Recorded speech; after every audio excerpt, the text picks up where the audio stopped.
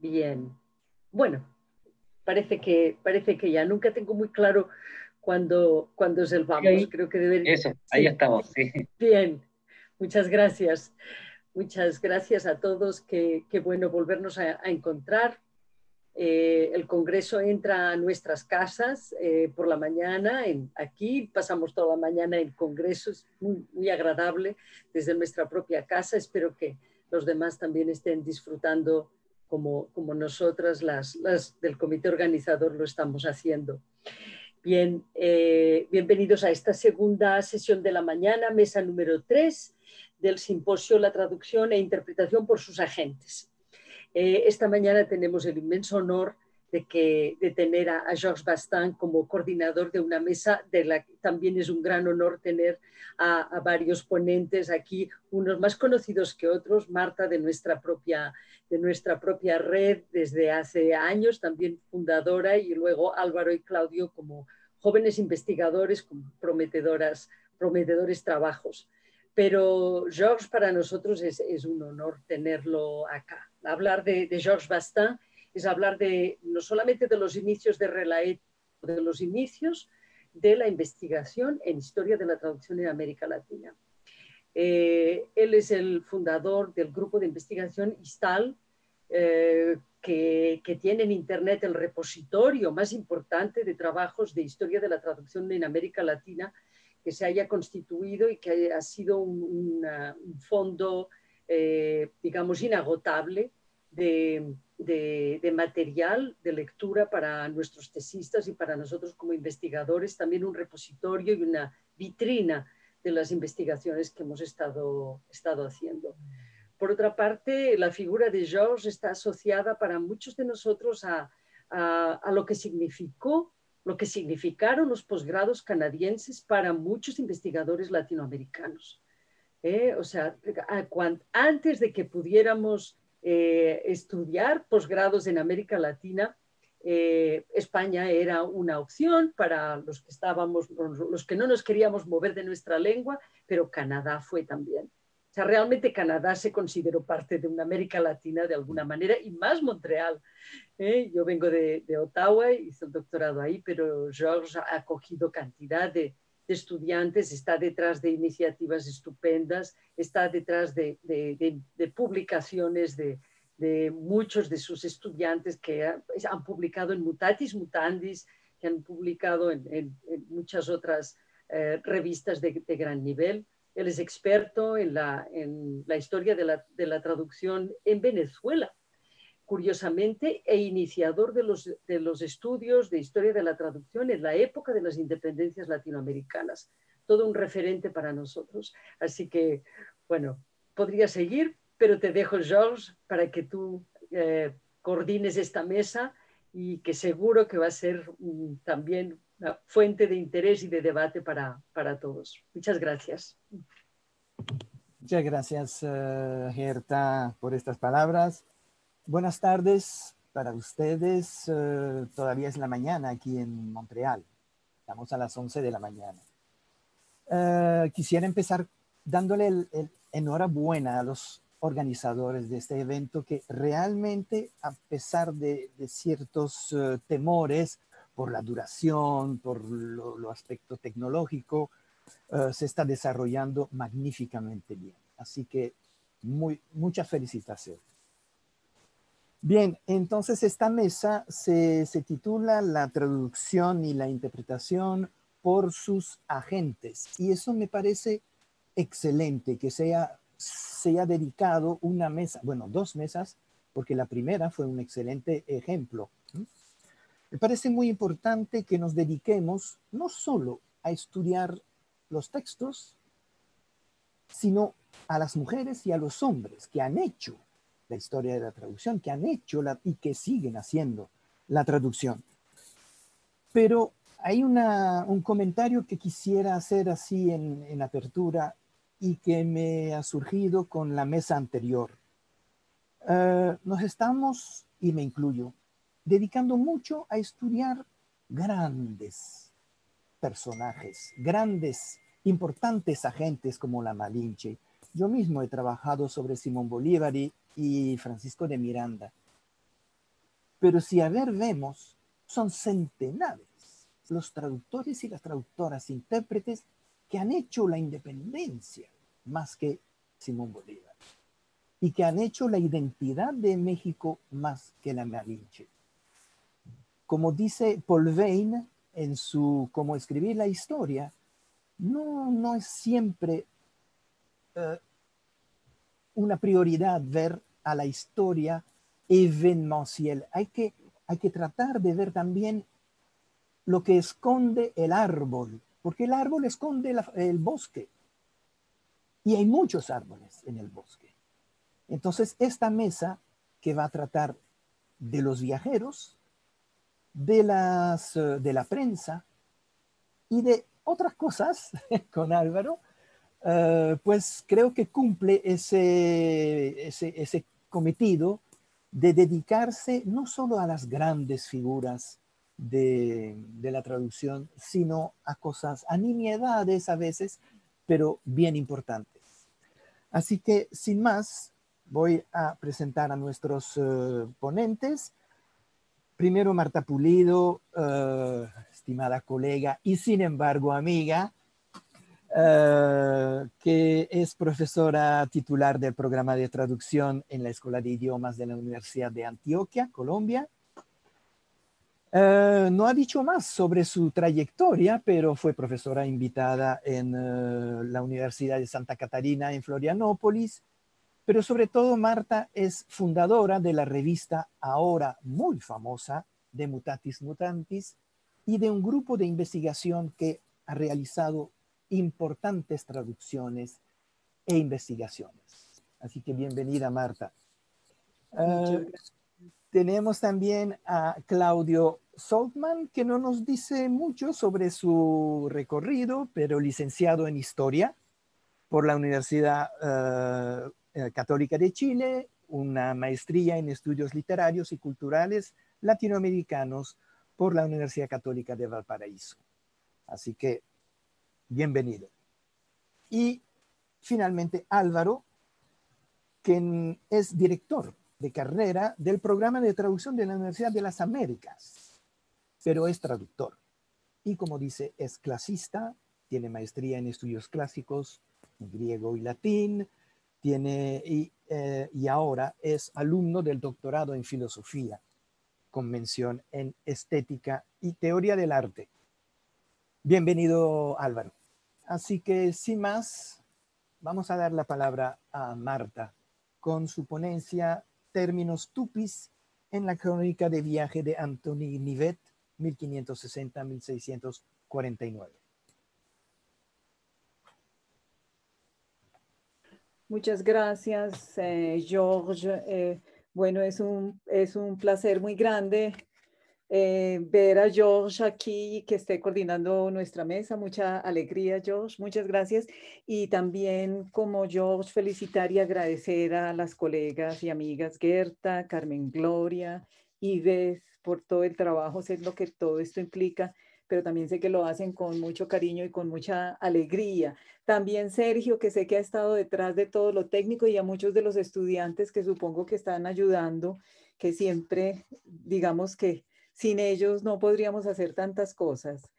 Eh, y también, claro, un gusto eh, compartir la mesa con Claudio, que nos va a hablar sobre Andrés Bello, que evidentemente lo conocemos, y con Álvaro Luis Salazar, que me puso a buscar a Giuseppina Gramático. Encontré muy poco sobre ella, pero bueno, ya vamos a aprender con lo que nos, con lo que nos vas a contar.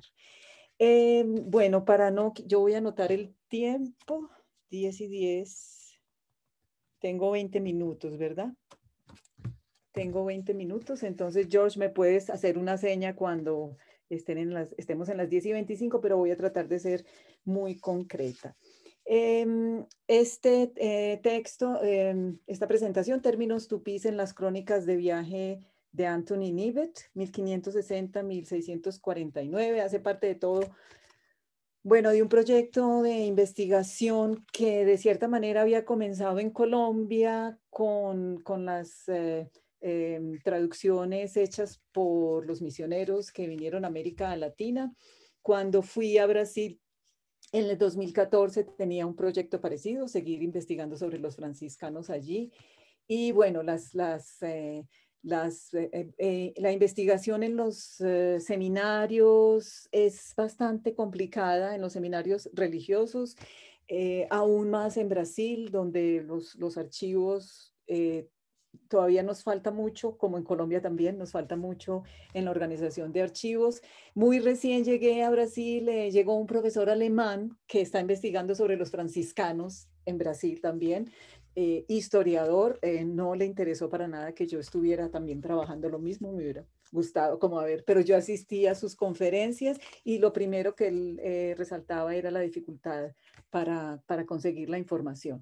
Bueno, eh, en todo caso, yo trabajé en un primer tiempo con esto, con los, eh, con los em, em, capuchinos que llegaron a, a, Brasil en lo que se llamó la Francia Antártica eh, y con Lery también, pero después me interesó, me interesaron estos viajeros laicos que tenían otra visión de, y que también del, de América y que también describieron inclusive con mucha más libertad eh, lo que vieron aquí. Eh, uno de ellos es Anthony Nive, otro que es Hans Staren, pero hoy les voy a hablar eh, de manera muy corta entonces de Anthony Nives. 1560-1649 es, su, es su, sus años de vida, vivió bastante para haber vivido 11 años eh, que no me, dio, no, me, no me dio para pasar. ya, gracias. Eh, él vivió, vivió 11 años en, en Brasil, eh, en prisionero, ¿no? De los, de los Tupinambá. Este, este mapa que vemos ahí, que es de 1706, se hizo también a partir de las descripciones, en buena medida, a partir de las descripciones que Anthony Nivet entregó. Entonces, Anthony Nivet es un inglés que viene a, Brasil en 1591. En 1591, estas son las tres obras en inglés, en, portugués, la de inglés que entonces fue publicada en 1625. Eh, en 2008, una investigadora que he leído que me parece que hace un trabajo muy, muy completo y muy serio sobre Anthony Nivet, em, es Vivien Cogutlesa de Sa, hace la traducción al portugués en el 2008, pero anteriormente hay otra traducción como de los del 47. Y, la misma Vivien Cogutlesa de Sa hace una edición en el 2015 a partir de la edición de 1625 hace una reedición en inglés con unas notas valiosísimas eh, sobre la historia de Anthony Nivet, porque ella investiga sobre Anthony Nivet, que no se había investigado sobre él. Él no escribió sino un libro, que es este, ¿no? Las, las The Admirable Adventures and Stranger Fortunes of Master, Master Anthony Nivet. Ok, entonces de ese libro yo saqué un, eh, estuve mirando lo que estaba en Tupi, saqué unos 50 términos de, animales, de plantas, de, lugares geográficos, de nombres de, tribus indígenas, eh, para, para mirar, para mostrar o para confirmar cómo eh, las imprecisiones que se, que existen y que siguen existiendo sobre la traducción. Pero antes de ir a esos términos de los cuales yo les voy a dar solamente tres ejemplos, em, quiero comentarles sobre estos dos libros que, que consulté.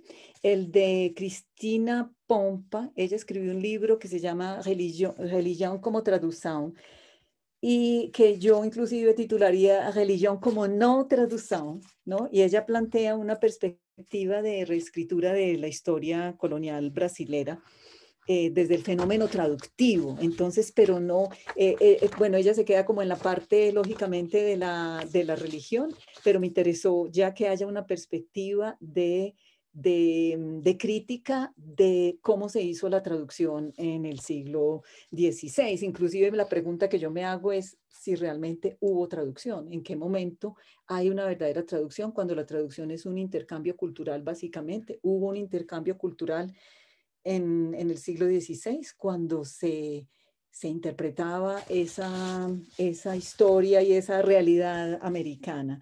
Bueno, ella... Mm, eh, dice que donde de, las, de los asuntos que ella leyó de, en el siglo XVI, dice ella que desaparecen pasajes de carácter antropológico o que se utilizan términos imprecisos para representar, por ejemplo, y especialmente de lo que ella habla, la espiritualidad americana. Y eso es muy evidente en los cuatro franceses que mencioné al comienzo, Tevet, Léry, Debreu y Daberville, sobre todo los tres... Eh, eh, dominicos de Davidville, porque Léry, que era un calvinista, tuvo una perspectiva diferente.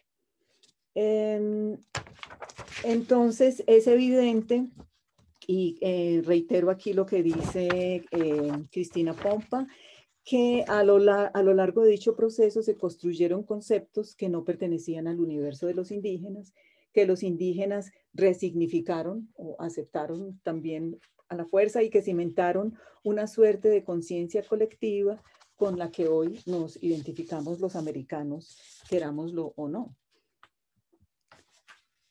Otro libro eh, que me pareció muy interesante y que es un libro que yo quiero seguir estudiando y quiero sobre todo seguirme estudiando los libros que él leyó. Eh, Jorge Cañizares Esguerra. Él escribe un libro, How to Write a History of the New World. Yo titulé mi diapositiva Cómo escribir o reescribir la historia del nuevo mundo, porque realmente la historia ya, ya hay una historia escrita, pero la tenemos que reescribir, así como, se, como hacemos a ver, somos un continente traducido, ¿verdad? Entonces, así como pensamos que es importante retraducir, hacer retraducciones de los clásicos, yo creo que es importante hacer una retraducción de, de América desde otra perspectiva y con los elementos que tenemos hoy. Eh, eh, Jorge Cañizares Guerra, es Guerra, a pesar de no ser traductor, es historiador, tiene un capítulo en ese libro sobre, sobre la traducción. Bueno, el, libro fue publicado en 2001 en Stanford University en inglés, en 2007 se tradujo al español por el Fondo de Cultura Económica, eh, Susana Moreno Parada fue la traductora, y en el 2011 se tradujo al Brasil, cómo escribir eh, a portugués, cómo escribir la historia de un nuevo mundo, de Juliana Bastos Márquez. Creo que me parece que Juliana Bastos ha traducido también eh, Walter Benjamin. Em, bueno, él, a ver si tengo aquí Sí, vamos a ver, sí.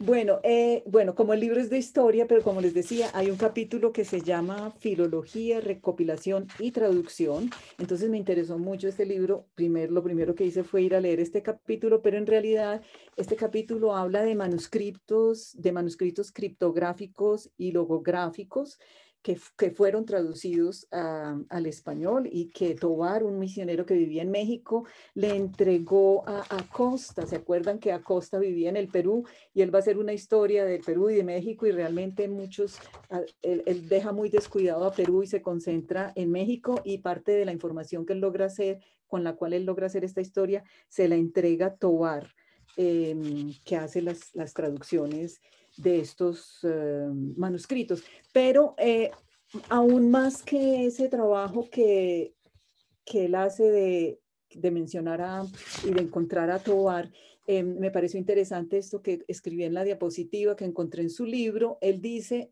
los clérigos criollos consideraban que la historia de América Latina experimentaba una interpretación errónea debido a la falta de conocimiento que, como era de esperar, tenían los primeros cronistas sobre los habitantes de las Américas debido también a la precariedad lingüística en la que se encontraban frente a esos seres recientemente descubiertos. Y podría añadirse debido al desconocimiento de las otras formas de escritura y de lectura del mundo en el nuevo continente.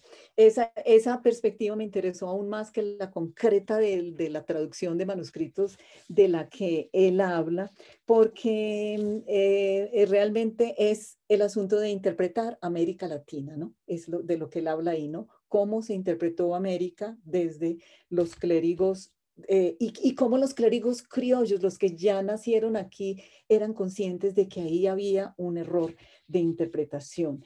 Em, es Guerras Cañizares, es, tiene una formación interdisciplinaria que, que él mismo se autoimpone para, para eh, digamos, eh, plantear su posición frente a la historia y, realmente me hizo, me despertó muchos interrogantes con respecto a la manera inclusive como hacemos historia de la traducción y, cómo, y cómo tenemos una herramienta tan, tan fuerte, tan, yo diría, como potente, que es la traducción misma para hacer, rehacer la historia de América Latina.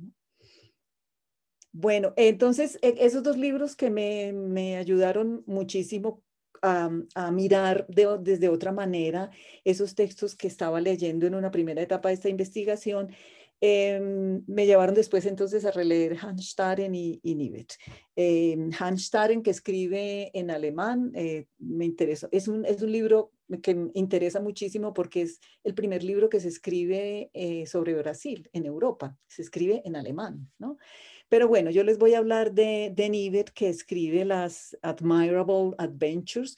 Eh, Nivet escribe un texto que no es muy, muy largo, realmente en portugués eh, es un libro como de 100, 120 páginas, pero, pero es de una, la, la la diagramación del libro es en espacios amplios, o sea que realmente el texto de, de Anthony Nivet no es muy largo y eh, Anthony Nivet lo escribe todo de memoria cuando llega a Inglaterra. Y creo que fue el mismo caso de, de Hans cómo la memoria juega un papel importante, ¿no? Y cómo estos, eh, eh, sobre todo Anthony Nivet y Hans Staden, lograron, lograron asimilar la fonética del, del tupí y entender, pero claro, entendieron, llegaron a entender también em, cosas erradas. Entonces, hay, varios ejemplos. Eh, este es eh, un, este es el texto en inglés de Lesa de Sal que están viendo ahí. Eh, y entonces dice el texto, The Indians of Brazil, es, es Anthony Nivet, called them tapetihuazón. ¿no? Es un animal, es un animal que está describiendo Nivet. Entonces, dice la nota de de, de Vivienco Gutlesa de Sanivet could be alluring to the guanaco, una lama, y, pero hay otro investigador que se llama Franco que cree que Nivet quiere decir tapir. Entonces, en ese caso sería la palabra tapirusú, que es large tapir. En todo caso, eh, la traducción al portugués de esa parte que la hace Vivien Cogutlesa de esa es o los, indios de Brasil los llaman de Tapiti Guazú. Guazú quiere decir grande en, tupí. Entonces, mire, ahí en un, pequeño detalle, hay una diferencia de animal. No se comprendió cuál animal era eh, y, con, y como ese ejemplo, pues hay muchos que entonces están tergiversando lo que ven y lo que y, la, representación que se están haciendo. Este, este otro pasaje que me pareció, eh, intenté imaginármelo mucho cuando lo leí sin la nota y, y dice, you, you, shall see a great hill which the Indians call Boyepua, that is the rotten whale la, ballena podrida. For you shall see the top of it like a dead whale, porque usted ve la, se puede ver el, la cima de la montaña como una ballena muerta. Y entonces la nota, la nota dice que ese, ese, ya aquí le voy a poner, que el boy, no, perdón, que eh, la partícula boya o boy Nives la utiliza erróneamente y que parece que es más, es, es una culebra, es snake, ¿no? Entonces, eh, y em, estamos en esta montaña y vemos, si estamos leyendo el libro de Nivet, vemos una ballena encima de la montaña, lo cual parecía bastante extraño, ¿no?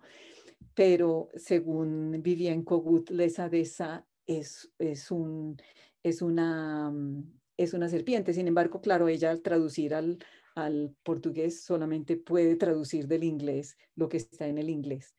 Em, eh, en eh, este, esta parte que tiene un poquito más que ver con la religión, eh, que es un asunto que quiero resaltar, cuando Nivet o Hans Staren utilizan términos tupis, como que por lo que menos se interesan es por la religión. Entonces esa es la gran diferencia que vemos en la apropiación que ellos hacen del lenguaje tupí, a diferencia de los misioneros franceses, porque ellos están interesados es en el lenguaje de la sobrevivencia y tal vez por eso aprenden tanto, porque ellos necesitan conocer las palabras precisas para poderse defender y para salvar sus vidas.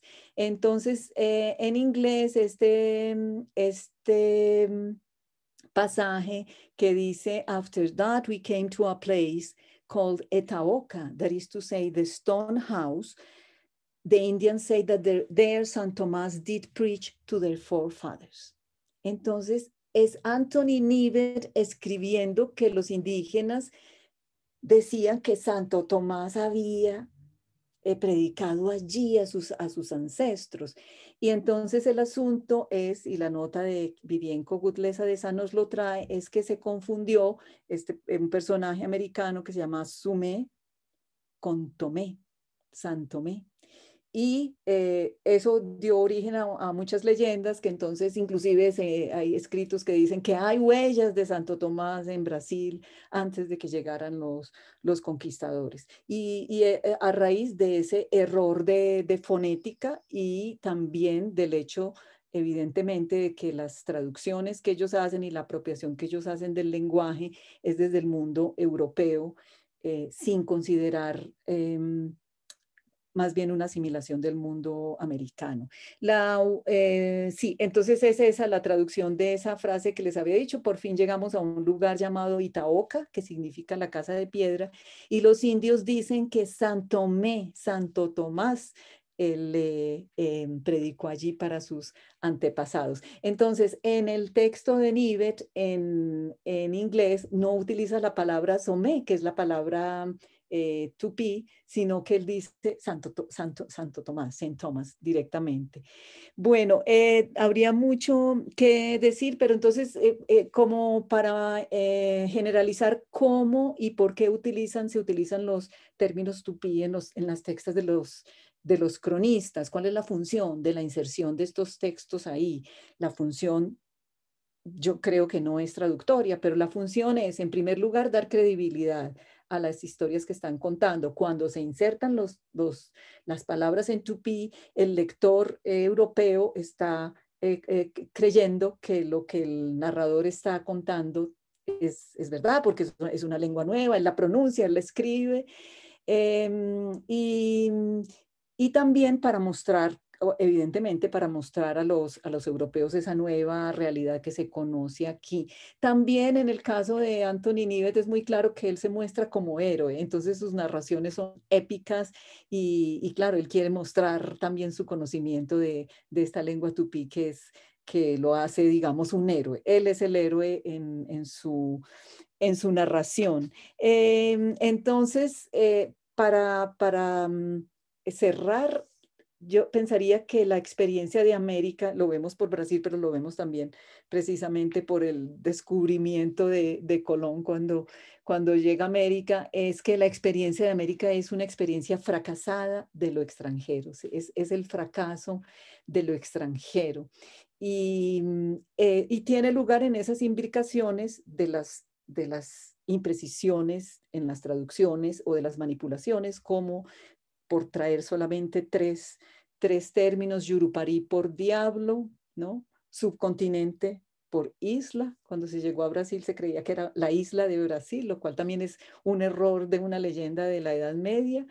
Y Sumé por Tomé, y bueno, habrían muchísimos, muchísimos más términos. Entonces, tomando a Antoine Bergman, con la experiencia de lo extranjero, yo diría que América es la experiencia fracasada de lo extranjero que también tiene sus, sus eh, puntos positivos y negativos. Yo pienso que el fracaso también es una fuente de, de, movimiento, es como un motor, el mismo fracaso, y tal vez por eso los latinoamericanos somos como somos, ¿no? Como eh, eh, con, con, interés de innovar todo el tiempo, con interés también de pelear, pero pienso que hay un movimiento que es, que, que es la, la vida misma, que es parte de esa de esa imprecisión de, no estar muy seguros, muy seguros de quiénes somos, pero tal vez de estar, de tener como el fracaso como nuestra fuente, como nuestro motor de, movimiento.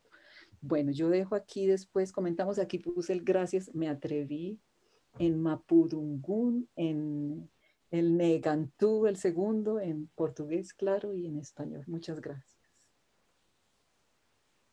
Pues muchas gracias, eh, Marta, por eh, esta interesante investigación. Enseguida vamos a darle la palabra a Claudio Soltman Cáceres con la ponencia titulada Sobre las traducciones, el pensamiento traductológico británico en Chile, a partir de una traducción inédita de Andrés Bello de 1837. Claudio, tienes la palabra. Muchísimas gracias, profesor. Em, bueno, primero que todo, quiero agradecer al comité organizador por, por toda esta difícil gestión, pero ha salido todo muy bien. He disfrutado bastante este congreso, así que mis felicitaciones. Em, en fin, ahora voy a poner el cronómetro porque no me quiero pasar con el tiempo. Así que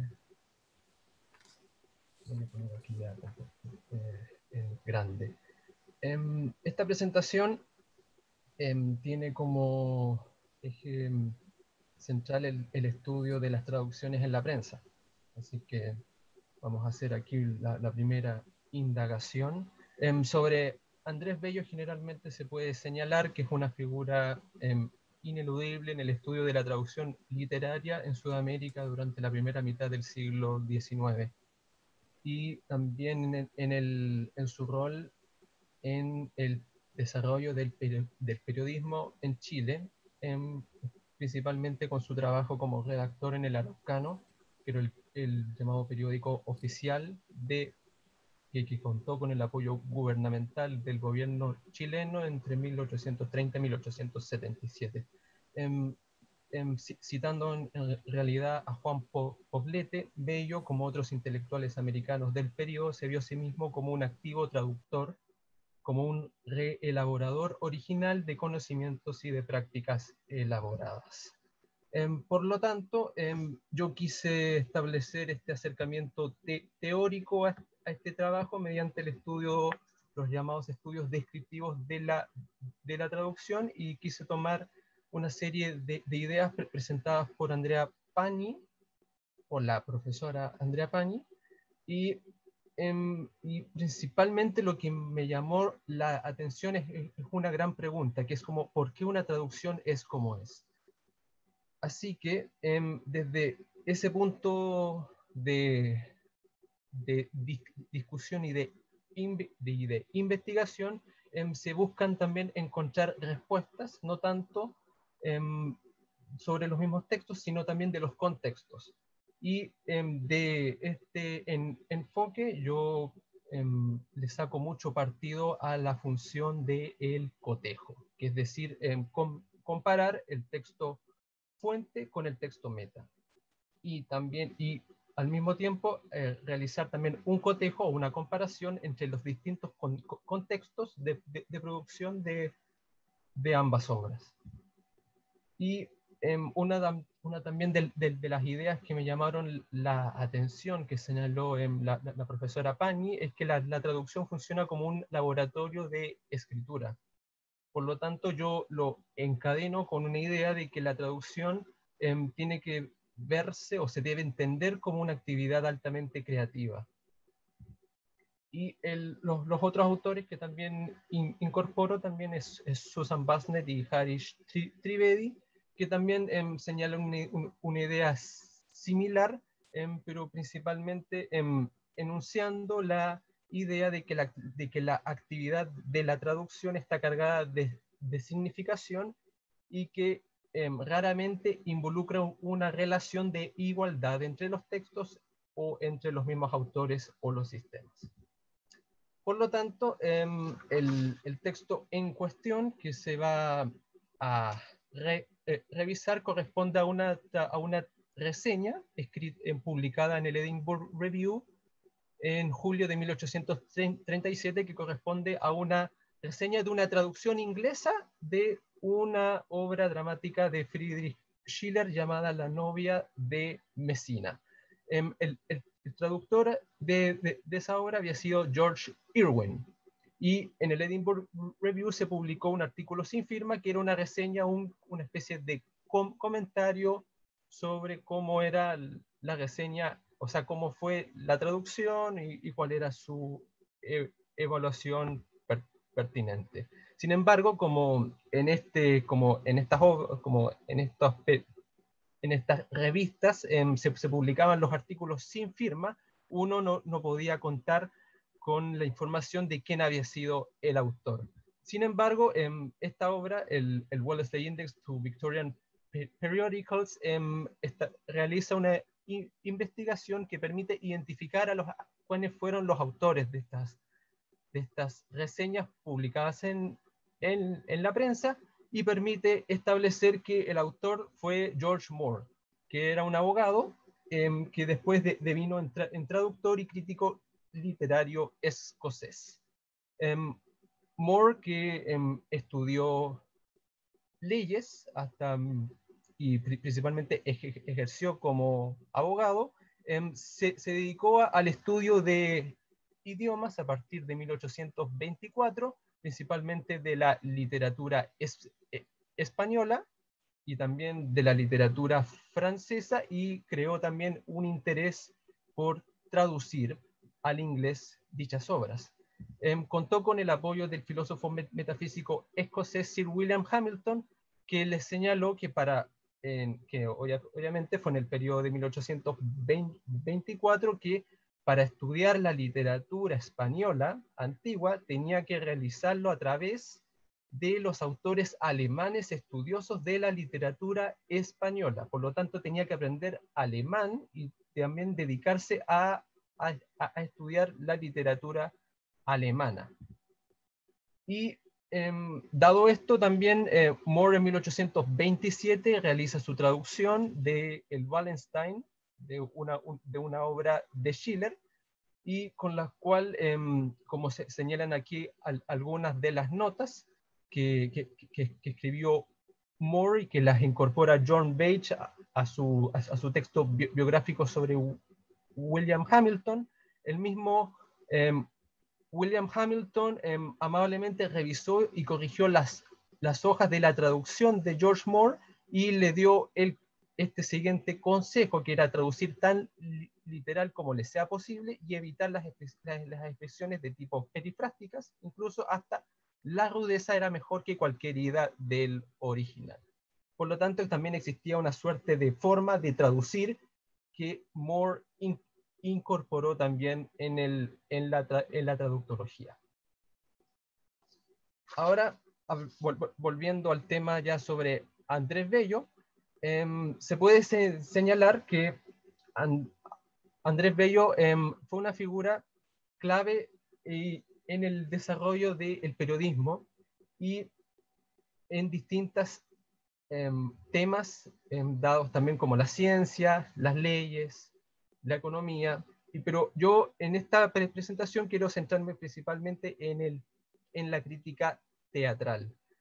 Em, se puede eh, decir, según los juicios también que van desde Miguel Luis Amunátegui, Fontaine y Federico Álvarez y Alfonso Bulnes, que eh, Bello fundaría em, durante la década del, 30 de manera sistemática dos secciones del periodismo. Esto serían la crítica literaria y la crítica de los espectáculos teatrales. Por, lo tanto, se puede señalar que Bello, por medio también de estos artículos que publicaba en, en su calidad de redactor y también estaba a cargo de la sección literaria, de la sección científica y de la sección de variedades de este mismo em, periódico chileno, em, orientó de cierta forma el gusto literario del público lector en Santiago.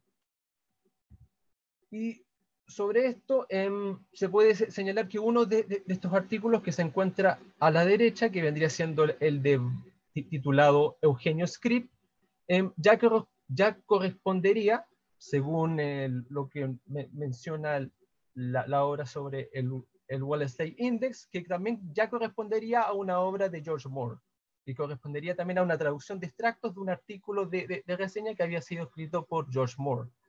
y, en él ya se encuentran algunas pequeñas pistas, por ejemplo, en el, en el párrafo, en el párrafo final hay una mención de las obras de script, que son las obras que George Moore reseña en su texto em, inglés y que los dos primeros párrafos corresponden al llamado par, paratexto, ¿no? que son las pequeñas em, presentaciones que establece Bello, que como aquí aparece una de que, de que como se había representado una obra de, de teatro de script en Santiago durante el martes pasado, convendría para los lectores tener obviamente un juicio crítico actualizado sobre este dramaturgo francés. Y al, al mismo tiempo em, existe una suerte de, una suerte de vínculo ¿no? Em, entre la traducción y el desarrollo de la crítica teatral en Bello a través de la plataforma de El Araucano. O sea, no se trata simplemente volviendo a traducir reseñas teatrales, sino que también fomentar la traducción en Chile de obras de teatro.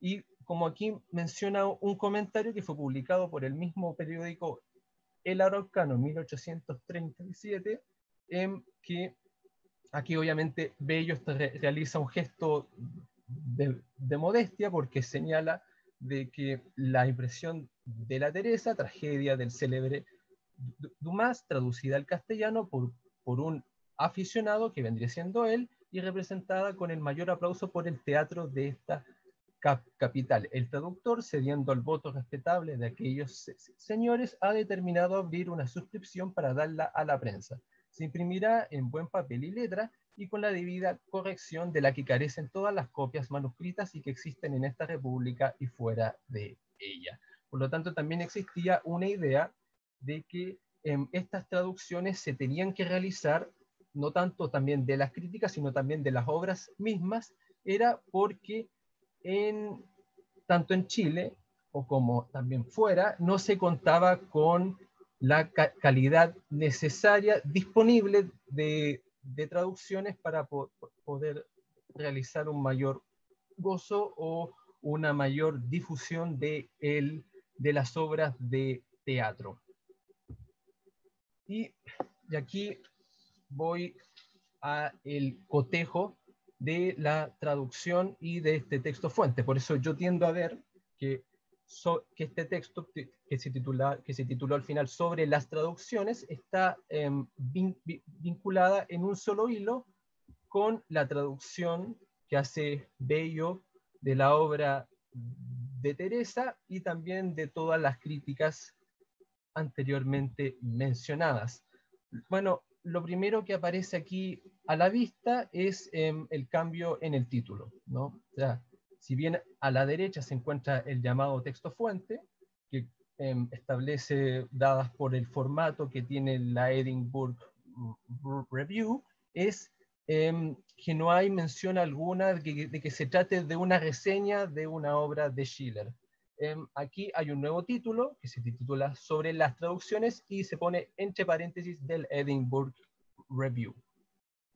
Y también em, haciendo el conteo de las páginas, la traducción em, comprende exactamente 11 páginas y el, texto sobre las, traducciones solamente comprenden extractos que van de las, de, cinco, de las primeras cinco páginas de las 11. O sea, simplemente más de la mitad del texto fuente quedó fuera. O sea, o simplemente se suprimió porque correspondería a la reseña misma. Simplemente el traductor tomó la introducción que establece More em, para escribir su reseña.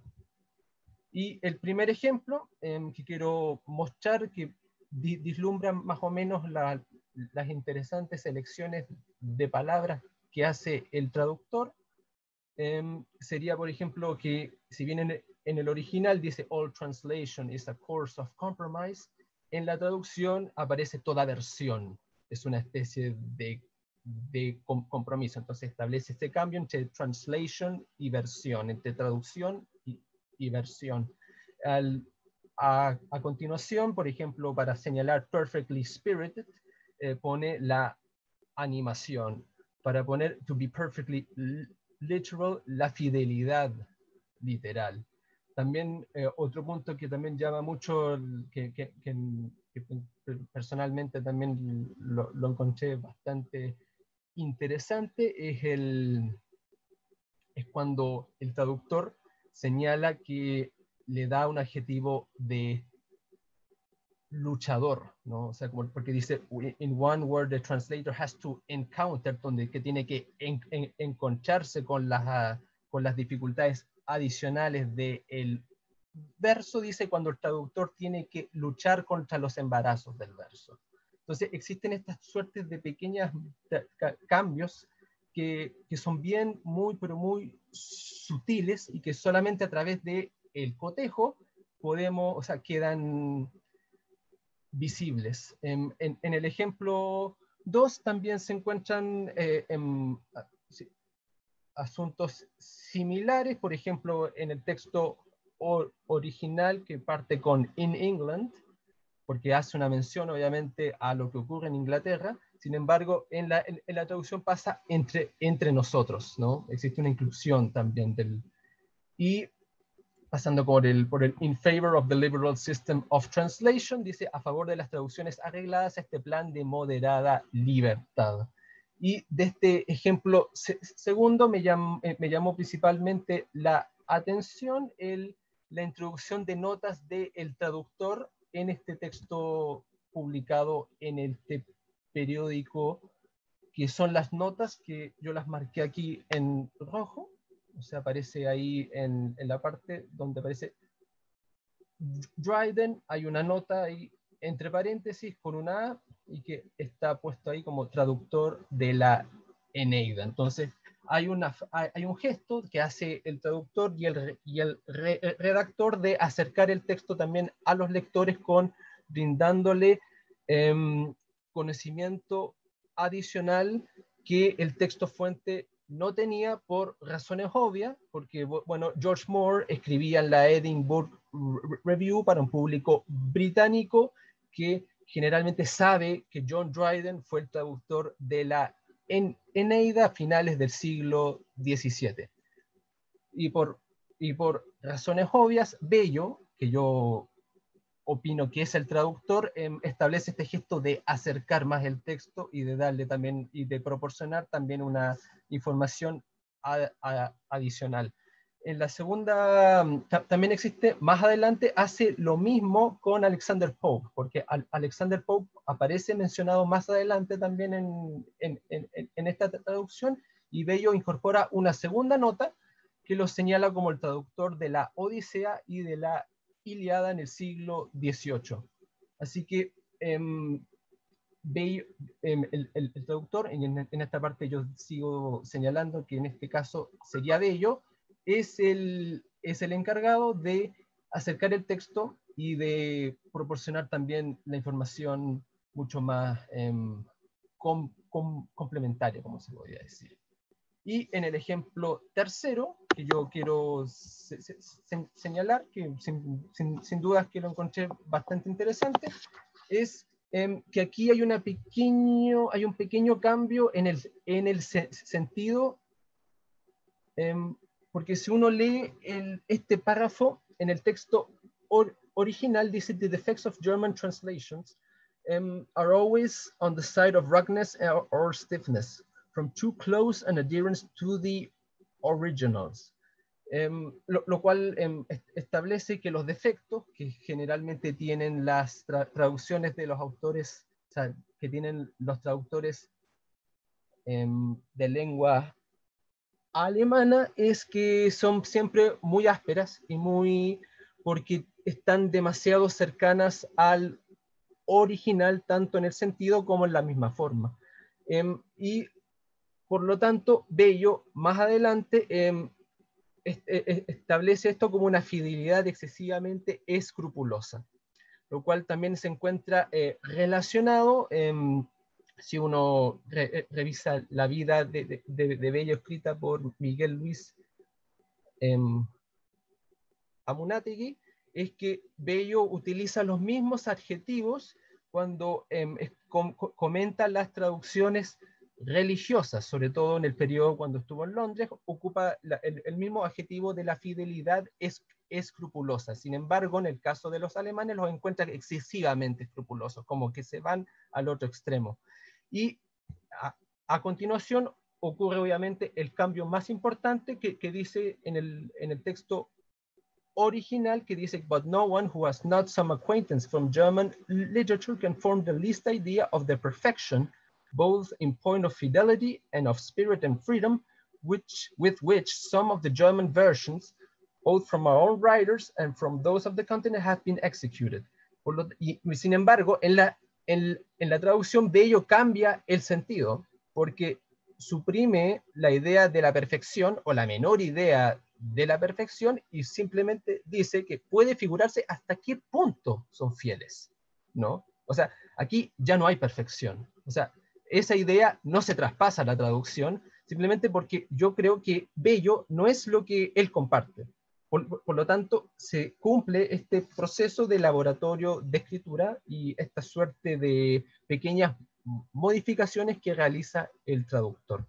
Bueno, y para concluir, unas breves ideas, simplemente para eh, complementar lo que mencioné, es que esta traducción se puede em, situar en este programa de, fomento de la crítica literaria que se estableció en el Araucano y, que por lo tanto este, este periódico fue visto como una plataforma de exposición para dar a conocer estas traducciones y que esto también puede ayudar sin dudas también a desarrollar la historia de la traducción en América Latina por parte de la prensa y, em, y también permitir también complementar a lo que ya se ha desarrollado a partir del formato libro y el folleto.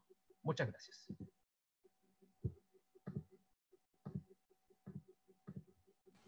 Muchísimas gracias, eh, Claudio, por esta contextualización muy detallada de ese pequeño texto publicado en el Araucano. Fue realmente muy interesante. Le damos la palabra entonces ahora a Álvaro Luis Salazar con intuición y acercamiento a la traducción silencio palabra en Giuseppina gramático. Álvaro, tienes la palabra. Muchas gracias. Voy a ver. Eh,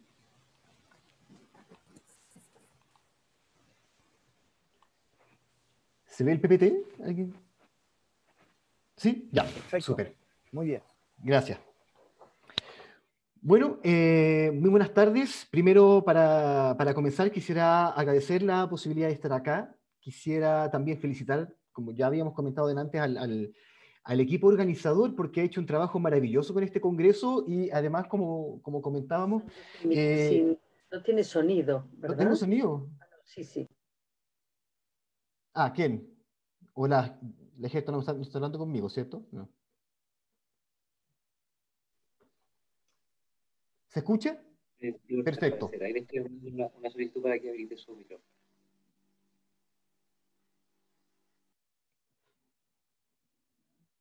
George, está sin micrófono. George. Sí, eh, ah. Álvaro, ¿podrías apagar y volver a prender tu micrófono para estar seguro? Ahora sí, ¿se escucha? Ya, súper. Sí. Muy bien, ya, súper bien. Ya, voy a poner mi cronómetro por si acaso. Y bueno, como estaba diciendo, agradezco eh, la posibilidad de estar acá y felicitar también al, equipo organizador, porque a pesar de que estamos a distancia, esto se ve mucho más cercano y mucho más familiar también. Ha sido un, gran, un gran evento hasta, ahora y yo creo que va a terminar también así. Eh, bueno, eh, lo que voy a mostrar hoy no tiene, no, lo vamos a mostrar tanto desde el punto de vista de la historiografía, diría yo, sino que más bien lo que se quiere o lo que pretendo es dar a conocer un poco el trabajo de Josepina Gramático, por lo tanto quiero mostrar algunos pequeños textos de ella, alguna, eh, algunas reflexiones que ella lleva a cabo, ¿ya? Eh, y que estas reflexiones son básicamente el problema que me permite abrir mi investigación doctoral. Por lo tanto, no daré avances con respecto a la investigación doctoral, sino que más que nada mostraré un poco sus reflexiones para ver más o menos cómo, cómo parte esta idea de hacer sus análisis. Eh, Gramático eh, fue directora del Centro de Estudios Clásicos, ella muere de, la UNCE, muere el 2009 y es una, eh, fue uno de los grandes aportes al clasicismo acá en, en, Chile, es una autora muy poco estudiada, eh, es traductora, no se habla mucho de ella como traductora, a pesar de que sí lo era, y además era, según mi criterio, una gran filósofa, y a pesar de que tampoco jamás se habla de ella como una filósofa. ¿Ya? Entonces, eh, bueno, Josefina Gramático habla acerca del silencio. Ella intuye un proceso de traducción, tiene una intuición con respecto a cómo el silencio se, eh, se transforma en palabra, cómo este silencio tiene un camino hacia la palabra, cómo este silencio pasa a, ¿cierto? a cristalizarse en los labios para poder llegar a ser una palabra y la propuesta un poco de investigación tiene que ver con que ese proceso del que ella habla y del que muchas veces ella, eh, muchas veces ella se refiere como una sinapsis, eh, para mí sería un proceso de, traducción. Entonces, bueno, como más o menos les estaba contando, eh, lo que se pretende es realizar una reflexión en torno a la exégesis de Josepina Gramático, llamada La sinapsis, silencio palabra, en donde esta indica que los textos de Heráclito, en los textos de Heráclito, se daría dentro del logos una sinapsis o unión entre el silencio y la palabra. Entonces, para llevar a cabo esto, eh, nos vamos a apoyar, apoyar en otros textos de Josepina Gramático, ¿ya? solamente para poder centrarnos en sus reflexiones y vamos a nombrar solamente de pasada a uno que otro autor que ella toma como referencia para sus estudios, ¿ya? Insisto, con el afán de poder dar a conocer un poco su, su, pensamiento, más que nada. Entonces, como decíamos, Gramático establece que la palabra y el silencio se encuentran conectados en una sinapsis eh, y que estos se entrelazan en la naturaleza del logos. Entenderíamos el logo, si lo traducimos como palabra o como discurso, yo creo que discurso nos sirve mucho más para la investigación que, se está llevando a cabo. Em, por lo tanto, en, la investigación hemos visto que en este proceso de sinapsis que identifica Josepina Gramático, se daría un fenómeno de constante desplazamiento entre el silencio y la palabra, entendido ambos como dos formas distintas de, lenguaje. ¿ya? Em, por lo tanto, eso nos permitiría hablar de una palabra silente y una palabra sonora. Eh, ¿Y por qué vemos al silencio como, dos tipos de, como un tipo de lenguaje? Estamos en general, diría yo, acostumbrados a, ver al silencio como algo negativo, el silencio como solamente como un vacío, sin embargo, em, yo creo que el silencio comunica, expresa, por lo tanto se puede traducir, se puede trasladar, ¿ya? a pesar de todas estas acepciones que dan los diccionarios acerca del silencio, que lo ven como eh, abstención del habla, ¿cierto? Como, como falta de ruido, como omisión al escribir, eh, o simplemente muchas veces se ve como una pausa, pero el silencio, como, como les digo, eh, se supone que transmite también sentimientos, transmite emociones, por lo tanto, habría que ver la manera de verificar si efectivamente cuando el silencio pasa a la palabra es un acto o es un proceso traslativo, ¿cierto? Entonces, bueno, Giuseppina Gramático, uno de los autores que más considera para sus eh, investigaciones sería justamente Heráclito. No solamente toma en cuenta Heráclito, por ejemplo, toma Heidegger con, a Heidegger con, el tema del callar, toma a, San Juan, etc. Pero Heráclito es el que más considera y a través de él ella hace sus, sus, em, sus investigaciones y sus reflexiones. Ahora, si decimos que el silencio y la palabra están dentro del logos, ahí es donde se forma la sinapsis de la que ella habla, que es esta unión, ¿cierto?, entre el silencio y la palabra, que es lo que permite que se produzca, según nuestra investigación, este proceso traslativo. Entonces, ella acerca de la sinapsis dice lo siguiente. Dice que es un modo que tienen las cosas de juntarse, tocándose, un modo, por cierto, especial, dice, la conexión no es algo aquí casual, transitorio, un estar una al lado de la otra por simple coincidencia, una suerte de justa posición. Esto parece estar indicando que cuando la juntura es perfecta, se produce un fenómeno de asimilación tan completa que una cosa habita dentro de la otra y forma con ella un todo, un holon, un continuum. Y ese proceso entonces, eh, en donde coexiste el silencio con la palabra, sería justamente el proceso de sinapsis que se da en el logos. Por lo tanto, para continuar con esta idea del logos, nosotros, eh, bueno, Josepina Gramático lo que hace es traduce algunos textos de Heráclito y, además hace una exégesis con respecto a lo que él escribe. Por ejemplo, acá en este, eh, en este primer aforismo dice, eh, Physis cryptestai filei, la naturaleza más propiamente, lo que emerge al ser, ama celarse. Es decir, la naturaleza ama celarse. Acá la, la, autora lo que estaría diciendo es que la naturaleza, en el fondo, es el logos, y ahí Josepina Gramático, me he fijado, tiende a, a, a, poner logos, naturaleza y ser como sinónimos muchas veces. Y aquí estaría diciendo que em, esa naturaleza es el logos y que el logos sería entonces una palabra que tiene mucha carga de verdad y que esta carga de, esta carga de verdad estaría abundante o sería abundante en silencio. ¿Ya? Porque en silencio es donde la palabra le gusta permanecer oculta. ¿Ya? Esta palabra silente antes de ser la palabra cristalizada que, sale de los labios. En este otro aforismo, eh, Heráclito dice, que también, también tradució por ella, dice, el ajuste sonoro que permanece celado es más fuerte que el que se muestra, en donde la autora indicaría que la palabra silente, que se recoge en lo profundo del alma, eh, sería mucho más fuerte que la palabra que es, que es verbal, que la palabra sonora. Siempre, siempre que ella está custodiada en lo profundo, tendría mucho más, eh, sería mucho más rica en sentido en el fondo y tendría mucha más significación que lo que logra salir después.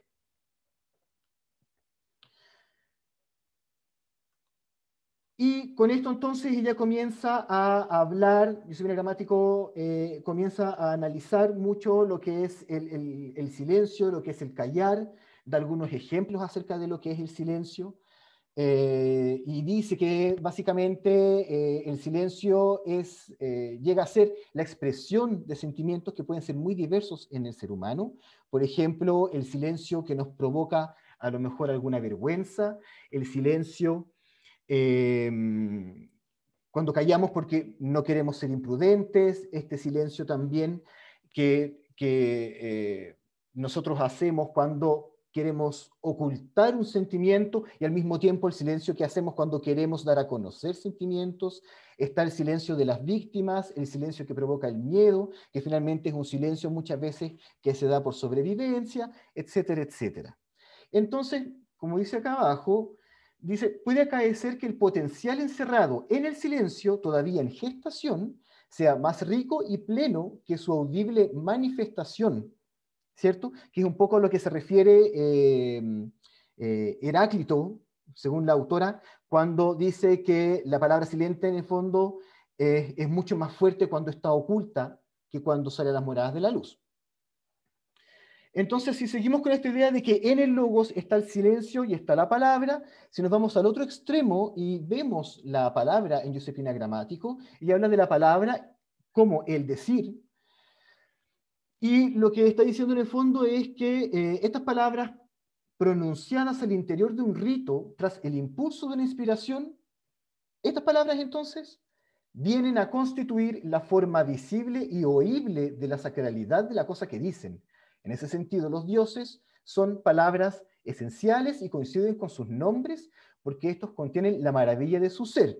Aquí podemos ver, por ejemplo, una escena muy interesante que es la escena de la Sibila esto que está acá, que sería lo que al parecer es lo, lo, único que sobrevivió de, eh, o representación que sobrevivió del mundo antiguo sobre, eh, eh, como representación del oráculo de Delfos, em, nos sirve un poco para tomar la escena de la Sibila, que es una escena que Giuseppina Gramático y que Heráclito toman mucho en, en sus escritos.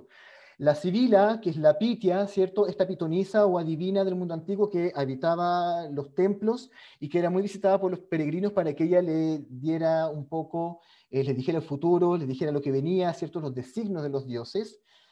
ella se comunicaba con, los dioses la tomaban, se comunicaba con el dios y el dios le hablaba en silencio.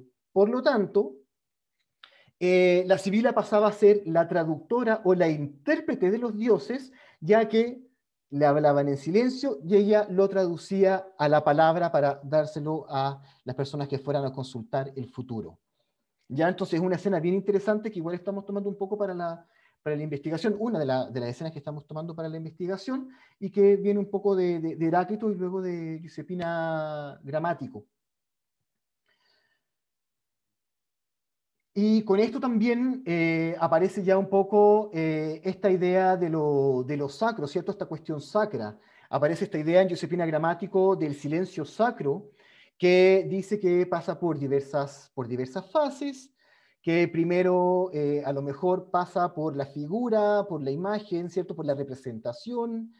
Em, se habla de este, este silencio inicial, de este arjé, ¿cierto? De este principio que, sería un silencio como creador de mundo, y al mismo tiempo habla de la develación.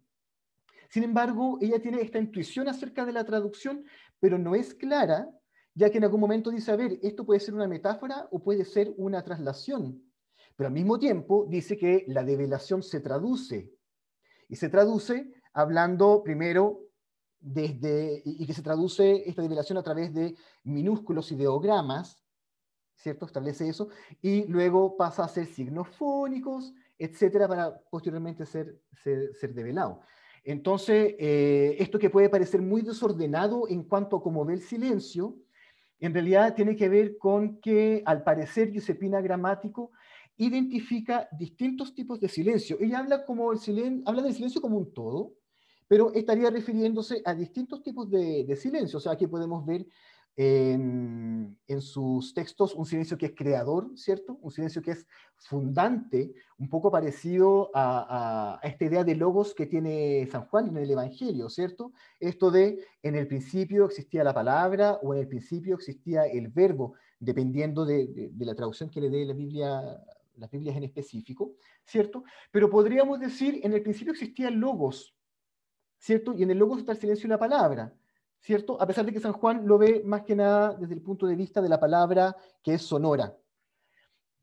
Eh, sin embargo, también eh, Gramático hace algunos análisis que tienen que ver con otras cosmogonías. Por ejemplo, Hesiodo dice que, em, eh, que en, el principio no, era, no, era la palabra, sino que existía el caos. En cambio, hay algunas religiones, ¿cierto?, más como órficas, eh, donde dicen que en realidad el caos, este caos de Siodo, surge a través de la unión de la noche con el silencio.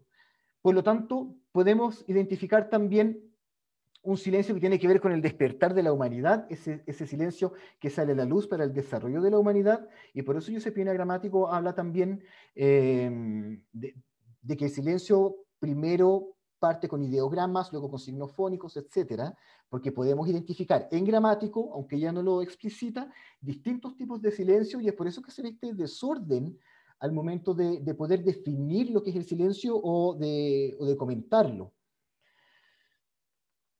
Eh, sin embargo, eh, existiría como, insisto con eso, existiría una, una, intuición con respecto al silencio y, y, a cómo este deviene palabra como un proceso eh, traslativo. ¿Ya? Y eh, es por eso que ya hace este cuestionamiento, donde dice, bueno, ¿es silencio palabra, cierto? Y lo pone con guion, o silencio palabra, todo junto, como diciendo, ¿es de hacia o es simplemente uno como el todo, cierto? Eh, este holon, este continuum, como parte del, del, del logos. Y ahí es cuando también se hace esta pregunta, ¿un desde pasando por el hacia se resuelve en un en, dice gramático, en uno de sus, en uno de sus, de sus textos. Em, entonces eso, eh, yo diría que eh, con este cuestionamiento que ella tiene es porque tiene claro que hay algo eh, relacionado con la traducción, pero que no lo puede dejar tan claro justamente porque habla de un silencio general, cuando en realidad eh, lo que se puede percibir es que ella tiene muchos tipos de silencio, como decíamos recién, este silencio que es el silencio creador, em, creador de mundo, ¿cierto? Este silencio que es fundante, el silencio que es el interior que tenemos los seres humanos, este que, este que nosotros buscamos en, en las profundidades del alma, ese silencio sacro que siempre tiene que ver con, con, la palabra, es decir, este silencio palabra del logos que eh, se percibe o que se lleva a cabo em, y se realiza en, en los ritos, en las religiones, o este silencio también que está más relacionado con la civila y que tiene que ver con la unión y la comunicación eh, con la deidad, que podríamos definir como un silencio que, em, eh, que sería el modo por el cual los dioses se comunican con el ser humano. Entonces, eh, este, este como desorden, podríamos decir, al momento de, de hablar acerca del silencio, se debe a que, creo yo, a que existen muchos tipos eh, de, silencio en gramático, pero ella no, los, no, los, no, termina por diferenciarlos porque, eh, bueno, ella muere el 2009 antes de terminar todas sus eh, investigaciones y reflexiones en torno, en torno a esto. Y ya para ir finalizando, bueno, las consideraciones finales que podría dar son bastante vagas porque, bueno, una porque la investigación está todavía en curso, eh, y yo quería mostrar un poco las reflexiones de Giuseppina Gramático, que me cuesta en realidad hablar sobre ella en 20 minutos, me cuesta mucho hablar de ella en 20 minutos. Em, pero quería mostrarles un poco qué era lo que habría, eh, por qué se abre esta investigación en torno al silencio, al silencio palabra, cómo este silencio pasa por un sistema de, por, un, por, un, proceso traslativo para hacer palabra, y obviamente eh, yo creo que eh, si me hacen alguna pregunta, quizás yo tengo más dudas que ustedes con respecto a lo que está pasando acá, pero me llevo algunas tareas para la casa y dentro de esas tareas para la casa que me estoy llevando son justamente identificar en, esta investigación cuál es el recorrido que haría este silencio o estos silencios, porque no podemos hablar de un solo proceso a lo mejor traslativo, ya que son distintos silencios los que ella está identificando, aunque no lo dice, eh, por lo tanto, para hacer eso, ¿cuántos son los silencios que identificamos en relación con el logos y la visión que tiene Giuseppina Gramático? Y finalmente, otra cosa es eh, tratar de identificar cuál es el signo o la materialidad de este silencio que permite que este sea, que este sea traducido y que nos permite posteriormente entonces hablar de un proceso de traducción, silencio-palabra. Y esa sería mi bibliografía y muchas gracias por su atención. Alcancé justito, parece. Perfectamente, Álvaro. Muchísimas gracias y gracias a los tres panelistas por eh, realmente haber respetado estrictamente el tiempo impartido. Esto es magnífico y poco usual, pero muy bien. Bien, tuvimos aquí una mesa de lo más interesante. Eh, agradezco a Marta en primer lugar. Voy a hacer algunos comentarios.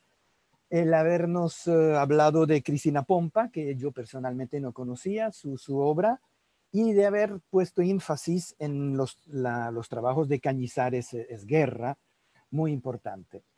Lo que tuvimos ahí con eh, la exposición de Marta es realmente la visión del otro, como lo llamo yo, de esos relatos eh, de viajeros, esas crónicas. Y Marta tiene razón de decir que estos eh, laicos tenían más libertad que los cronistas oficiales. Eh, ahora esta libertad la tomaron ciertamente, y eso se puede comprobar, para bien o para mal. Y digo cuando esa libertad la toman a mal, es por la proyección que dan de los eh, locales, de los eh, indígenas y de las poblaciones que encontraron, o por los datos que suministran. Y ahí es donde Marta nos habla de fracasada, una experiencia fracasada. Eh, en cuanto a Claudio, pues ahí se puede notar muy claramente su formación de historiador, eh, es una investigación realmente muy detallada eh, del contexto de producción tanto del texto original como del texto eh, traducido. Y me gusta cómo ha, logrado establecer las relaciones entre todos estos textos. Esa intertextualidad es fundamental en traducción. Así que muy bueno. Eh, tendré preguntas eh, luego, después de darle la palabra a todos, pero también muy buena la referencia a Andrea Pagni.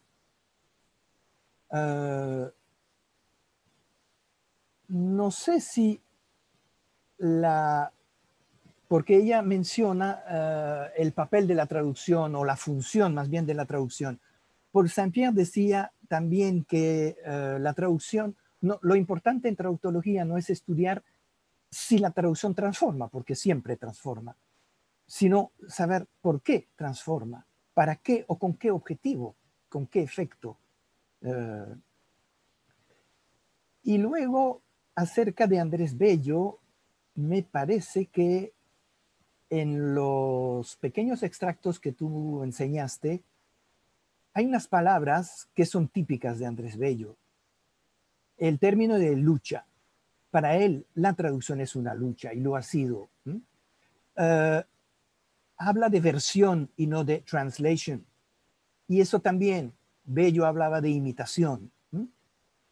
Y el hecho de agregar notas al pie de página también eso corresponde al papel de, formador que jugó, que desempeñó Andrés Bello, formar al hombre americano nuevo. Entonces, eh, realmente me gustó mucho tu, presentación. Álvaro, pues qué importante es el silencio. Es verdad que eh, los silencios están en todos los textos. Humberto Eco definía el texto como un, un amasijo de vacíos entre las palabras escritas, vacíos que el autor mismo había colocado a propósito para que se interpretaran. Y esos vacíos son silencios. Ahora el problema es que se traduce o no se traduce estos silencios porque hay un riesgo de, caer en la exégesis eh, exagerada. Y, pero eh, me gusta también el hecho de que hayas colocado en tu título intuición, aunque yo creo que te refieres a, tu proyecto doctoral. Pero la intuición también es importante en traducción. Robinson decía que se traducen con las tripas. Y muchas veces es verdad. Así que, bueno, esos son las, eh, de los comentarios que quería hacer también se vio bien la formación de, filósofo de, Álvaro. Eh, le voy a dar la palabra a quien quiera tomarla. Vamos a ver eh, los, el chat. Aquí hay mensajes personales entre Paula y Nayeli. Saludos también a Paula. No hay pregunta. No veo preguntas. perdón. Eh, George, si yo puedo hacer un comentario. Sí, no, por supuesto. Gracias. Ah, eh, Daniel. Eh, también aquí aprendí, Álvaro, de, de Giuseppina Gramático, que interesante, traductora de Heráclito, y pensaba, mis comentarios van a ser muy cortos, pensaba que, claro, nada, ninguna relación más propia a la traducción que la relación silencio-palabra, ¿no? Eh, sí, y de, y de Claudio, claro, yo eh, pienso que Claudio va a terminar haciendo el doctorado con George en, Montreal, ¿no? Creo que sí. Bueno, y me encanta, George, que hayas mencionado a Paul Vane, que es un autor que me encanta, ¿no? Cómo se escribe la historia, que siempre, cuando, la primera vez que leí ese libro estábamos traduciendo los traductores en la historia, y realmente Paul Vane no le da a uno elementos para hacer la historia, sino que dice, bueno, es que usted se tiene que meter al contexto y ahí ve cómo hacerla. Ahí eh, es el contexto y la experiencia lo que va a dar una metodología. Entonces, para los traductores que no somos historiadores, eh, queda uno eh, perplejo, pero bueno, eso nos ha, nos ha dado em, empuje para, para intentar hacer investigación. Gracias. Muchas gracias, Marta. Veo que hay una pregunta de Paula antes de dar la palabra a Daniel. Paula preguntaba para Claudio ¿cómo se interpretan estas apropiaciones de Bello? O cómo diría mi querido profesor Pastá, estas intervenciones deliberadas del traductor. Em, bueno, muchas gracias. O sea, yo estaba ahí leyendo un poco ya los comentarios y, em, bueno, primero que todo para Lidia Fosa, que yo leí ahí un comentario que comentaba sobre lo irónico del título del periódico que se, que se titulaba El Araucano, ¿no? Y también eso se, vincula con otra pregunta que leí por, ahí que me están preguntando sobre si habían textos eh, de literatura mapuche en este periódico que se titula El Araucano. Y yo voy a responder eso de inmediato porque yo estoy muy de acuerdo de que hay, de que es, es muy irónico, porque no hay nada. O sea, yo hice la revisión y no, no se encuentra. O sea, se em, empiezan a encontrar cosas a partir de 1841, cuando el gobierno chileno empieza a impulsar ¿no? el, los viajes científicos por el territorio nacional, porque, ellos, porque en Santiago no se sabía o no se tenía idea de qué era lo que había en el resto de las regiones en Chile. Por lo tanto, mandan a franceses, a, a Claude Gué, o mandan a este polaco, a Ignacio Domeico a hacer rastreo y un mapeo de lo que hay en el territorio, porque simplemente en ese periodo Santiago era Chile.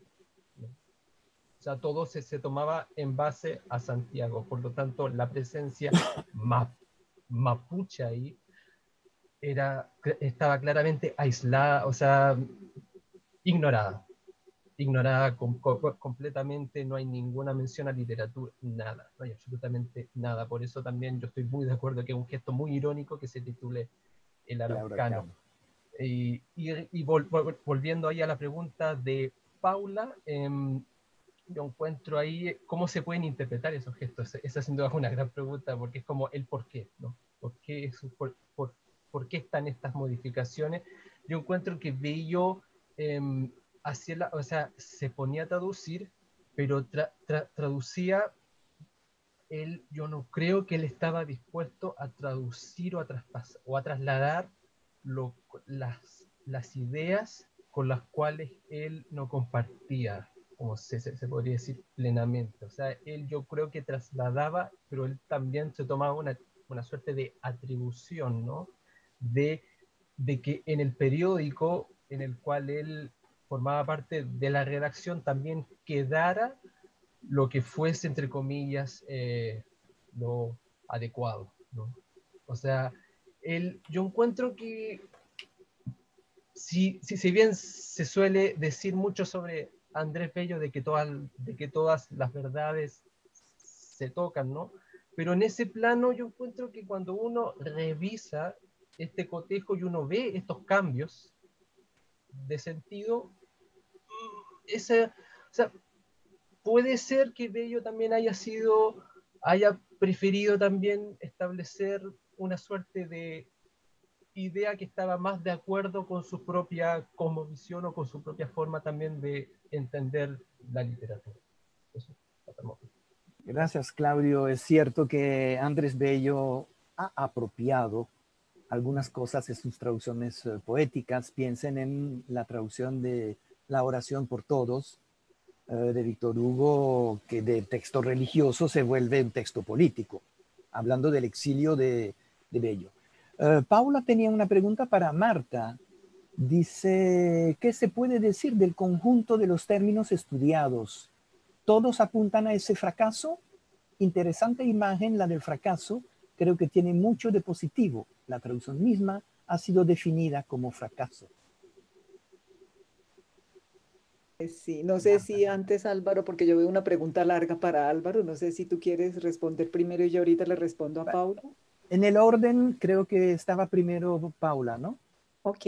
Si no bueno, eh, bueno em, entonces Paula, gracias. Eh, sí, bueno, lo que, lo que digamos no logré colocar en, esta, en estas diapositivas era la comparación con, con lo que encontré de los misioneros, porque cuando los misioneros utilizaban el vocabulario tupí era evidentemente más reducido porque acababan de llegar, porque era el primer encuentro, em, pero también porque ellos, a pesar de que eh, sabemos que son los misioneros los que, los que hacen las gramáticas y los que se concentran en aprender las lenguas. Sin embargo, estos cuatro primeros em, eh, eh, evangelizadores que llegaron a, Brasil, como estaban también en este momento de, la, de las luchas, eh, para utilizar una palabra de Bello, de las luchas entre el catolicismo y el, protestantismo. Entonces, se ocupan menos de realmente aprender y asimilar de la cultura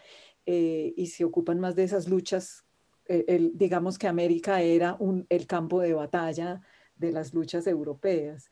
Mientras que los, eh, los viajeros eh, como Hans Staden y Anthony Nivet, pues lo que hacen es que ya que son tomados prisioneros, que digo que fue una suerte para nosotros haber conocido también el mundo brasilero, ellos están ahí sobreviviendo y están ahí, están desde su perspectiva de un prisionero que tiene que empezar a aprender una lengua desde cero y a sobrevivir en ese, en ese aspecto. Eh, sí, me parece que los, eh, lo que logré ver es que realmente eh, los, los ni Tebet, ah, Evreux, Daveville, lo que ellos, lo que ellos hacen es inmediatamente manipular la, la palabra sin, sin mucha con mucho conocimiento filológico que ellos tienen, claro, pero es un conocimiento filológico que no, no sirve para, la, para las estructuras de las lenguas de América. Eh, entonces, esa, esa palabra y toda su perspectiva es vista desde, evidentemente, desde el continente europeo, desde la religión cristiana, por lo menos. Em, digamos que no, no, no hay, ahí sí que no hay intercambio cultural para, para, lo que nosotros entendemos como traducción, ¿no? Ni hay realmente deseo de, de traducir, ¿no? No, no pienso que haya deseo de traducir. En, en los viajeros, en los laicos, pienso que sí, hay, hay una especie de, claro, ellos ya están ahí eh, metidos, yo no sé, pero es el caso de, de, de mm, eh, Gante, de este eh, franciscano en México, el de, el de las, los plumarios, que él llega a olvidar su lengua, él llega a olvidar su lengua porque está, es, se, se, se, ve inmerso de tal manera en la lengua de los indígenas, o sea, está realmente metido ahí. Y, forzosamente Hans Staren y, y Anthony Nivet estuvieron ahí, estuvieron, ellos eran los que tenían que aprender de los indígenas y no como se pensaba, como pensaban los misioneros, al contrario. Entonces sí hay una gran diferencia en la apropiación del, del lenguaje. Gracias. La pregunta para Álvaro, Ah, no sé si la has leído, Álvaro, dice, ¿cuál sería la conexión de gramático que, gramático hace del silencio en la conexión con la deidad? Para el cristianismo la palabra tiene poder. Mateo 18, 18.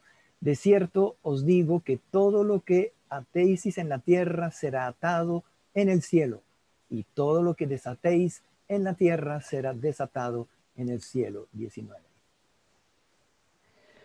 Sí, bueno, eh, gracias Carolina por, la, pregunta. La verdad es que sí, Giuseppina Gramático está constantemente hablando de la unión entre los seres humanos con, con, la deidad, por eso también dentro de las definiciones que hemos podido nosotros un poco revisar ahí, está esta de que el silencio es el modo de comunicación que tienen los dioses con los seres humanos, por ejemplo. ¿ya? Y, ahí está el mismo caso de la, de la civila. ¿ya? Está el caso de la civila. Entonces, Em, y con respecto a la otra parte de tu pregunta, donde dice, por ejemplo, eh, que el silencio solo puede ser oído por Dios y no por Satanás, por ejemplo, si lo llevamos al paganismo, eh, nosotros podemos ver que el silencio está relacionado tanto con la luz como con la, con la oscuridad. Por un lado, el silencio, ¿cierto? Como decíamos delante en los ritos órficos o en estos misterios órficos, el silencio se une con la noche para que se forme eh, el caos.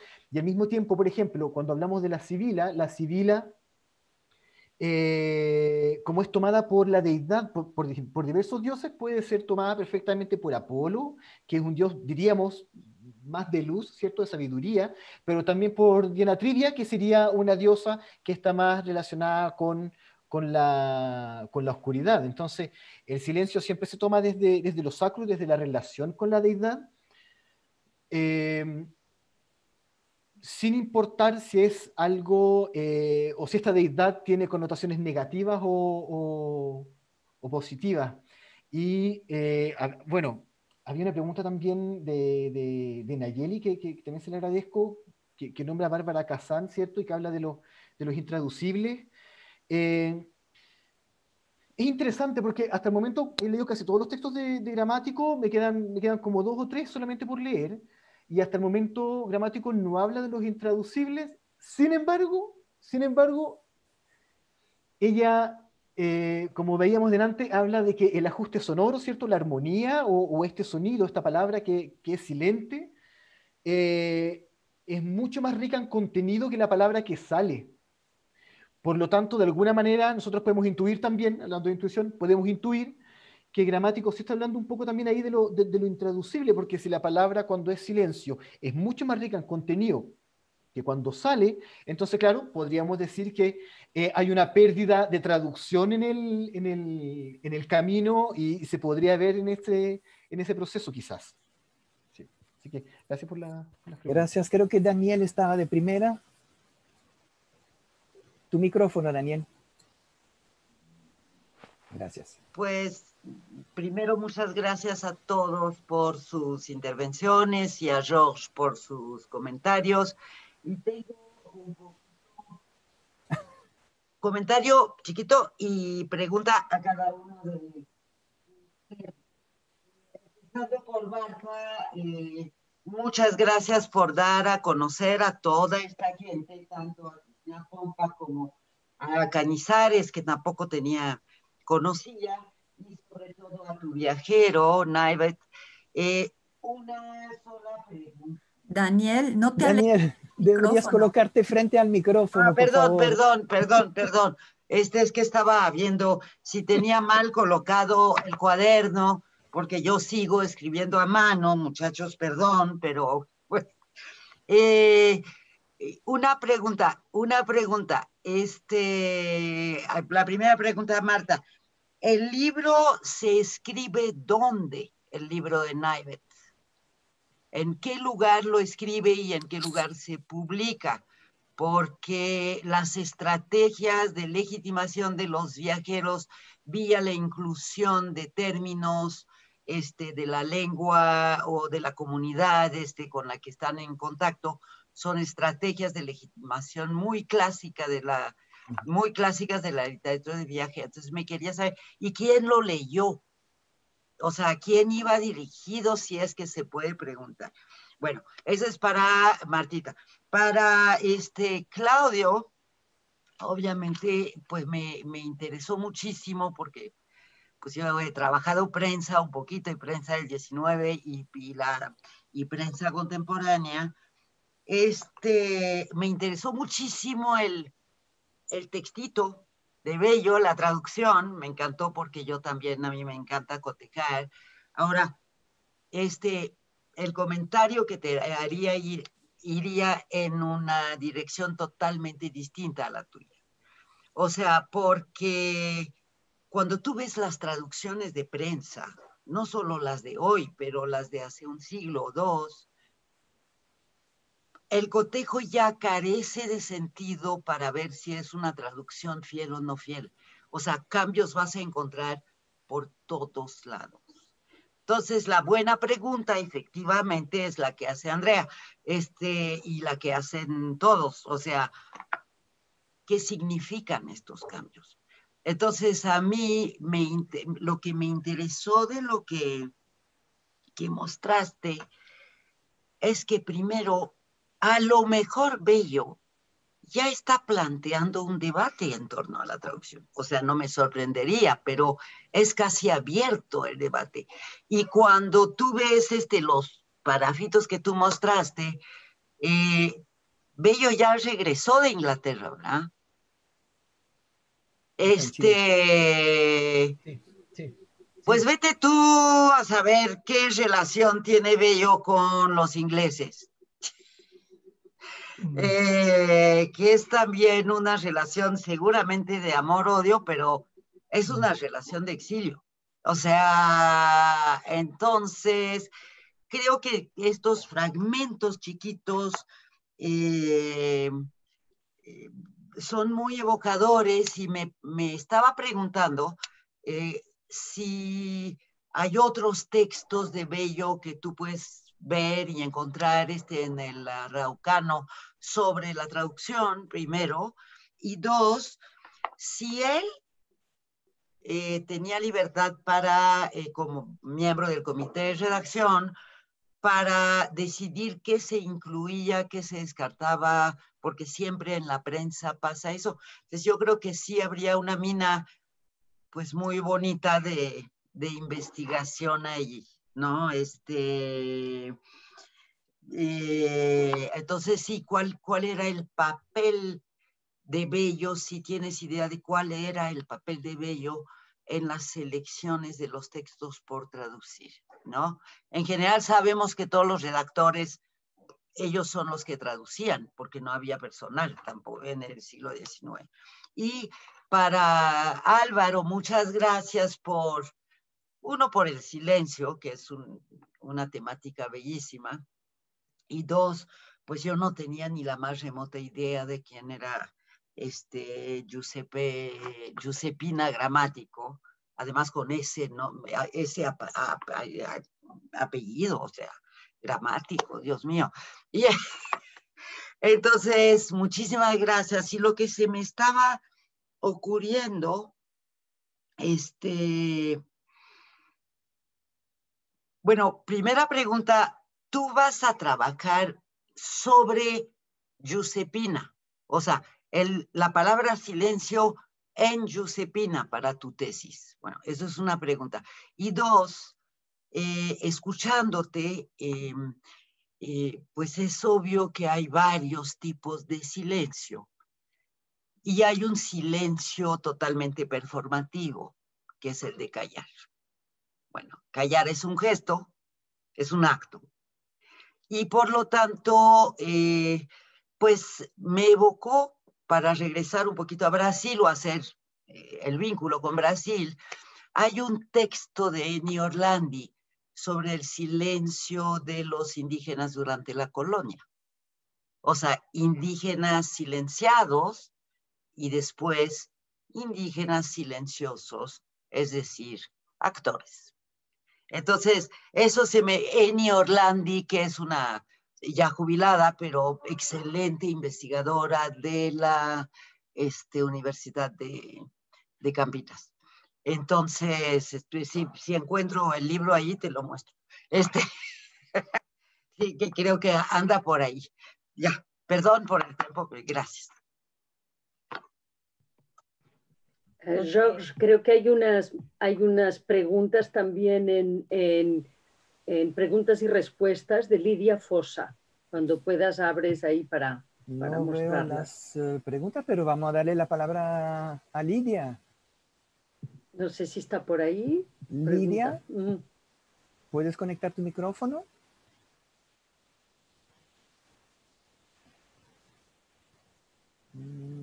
No la veo escritas tampoco en el chat, ¿no?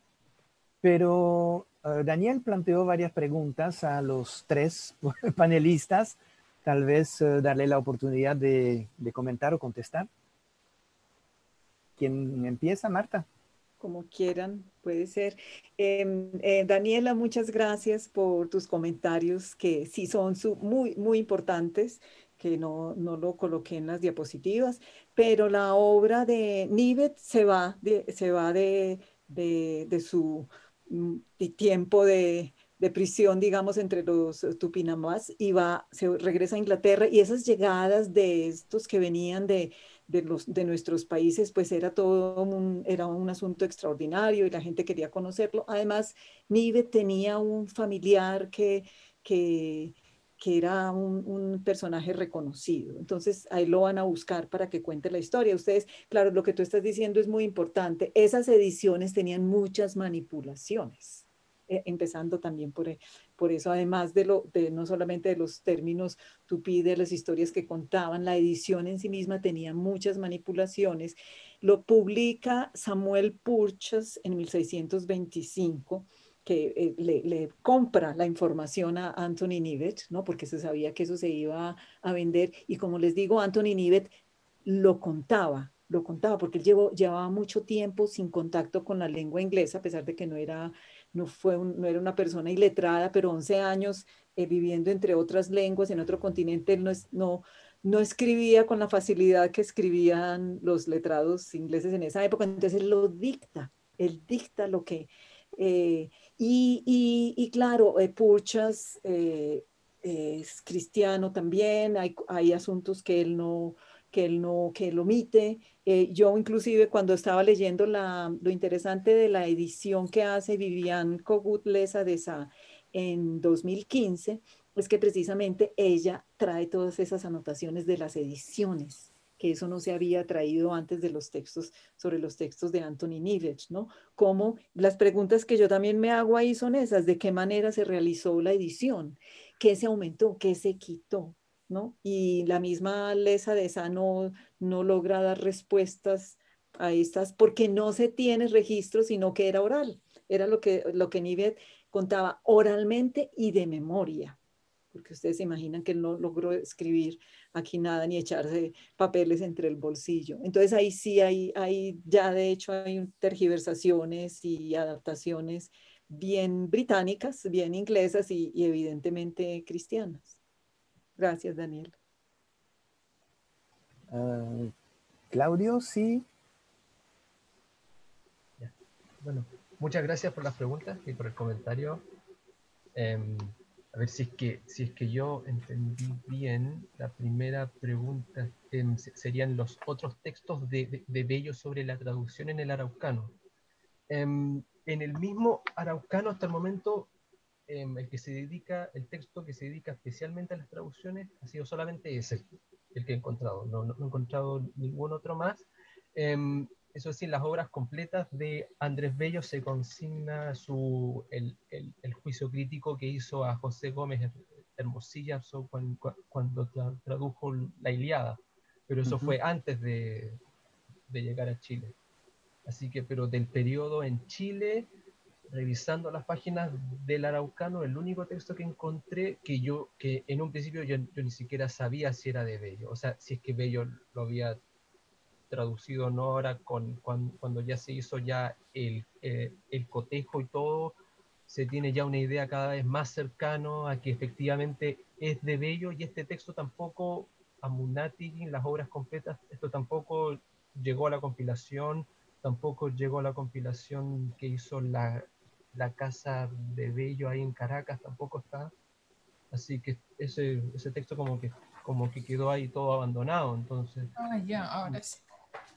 Entonces, por eso... Podría, podría, agregar algo y es que hay una, una tesis de maestría de la Universidad Central de Venezuela de María Alejandra Valero, Valero. Uh, sobre esto y el hecho de que um, Bello también era traductor de la Gaceta de Caracas uh, en el siglo XIX y lo menciona Aura Navarro en su tesis de doctorado. Valero, sí. Gracias. Creo que a Álvaro le toca contestar a Daniel. Queda, y luego le daremos la palabra a Lidia, que veo que está aquí. Sí, perdón, Claudio tenía, quería, sí, quería decir. Ay, perdón, perdón. Sí, sí, es, es, que había una segunda pregunta de Daniel que me faltó responder, que era el papel de, que, que tenía Bello en la redacción. Eh, yo no, o sea, no, no, tengo la fuente exacta, eh, me baso exactamente me baso solamente en los, en los textos, o sea, en el de Raúl Silva Castro, eh, sobre la historia del de periodismo en Chile y, y, generalmente tienen la misma opinión, o sea, como que señalan de que, bueno, en, el, en, el, en la sección de literatura, de la sección científica de ese pe periódico, el que tomaba la batuta en el, en el tema ed editorial era Bello. O sea, simplemente el, el, los otros redactores, en el caso de Gandarilla, de Salvador San, San, Fuentes, por ejemplo, ellos se dedicaban a publicar las editoriales y eran co comentarios sobre, o bien eh, co comentarios de, corte político o gubernamental, comentarios sobre la guerra contra la Confederación Perú-Boliviana, pero en, el, en, el, en, la sección científica y en la sección literaria eh, Raúl Silva Castro y el resto de la historiografía tiende a señalar que Bello era el que tomaba todas las decisiones.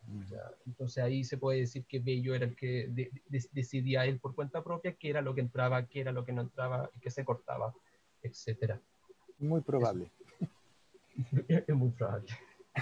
Álvaro. Sí. Bueno, muchas gracias a Daniel por, su, por sus preguntas. Eh, bueno, partiendo por la primera, Em, sí, en realidad la investigación yo eh, la voy a hacer más que nada enfocado en el, en el, en el, en, el silencio en Giuseppina gramático. Eh, quizás va a ser más monográfica, a pesar de que en algún momento igual se va a desparramar un poquito, pero, pero estaría más enfocada en Giuseppina gramático.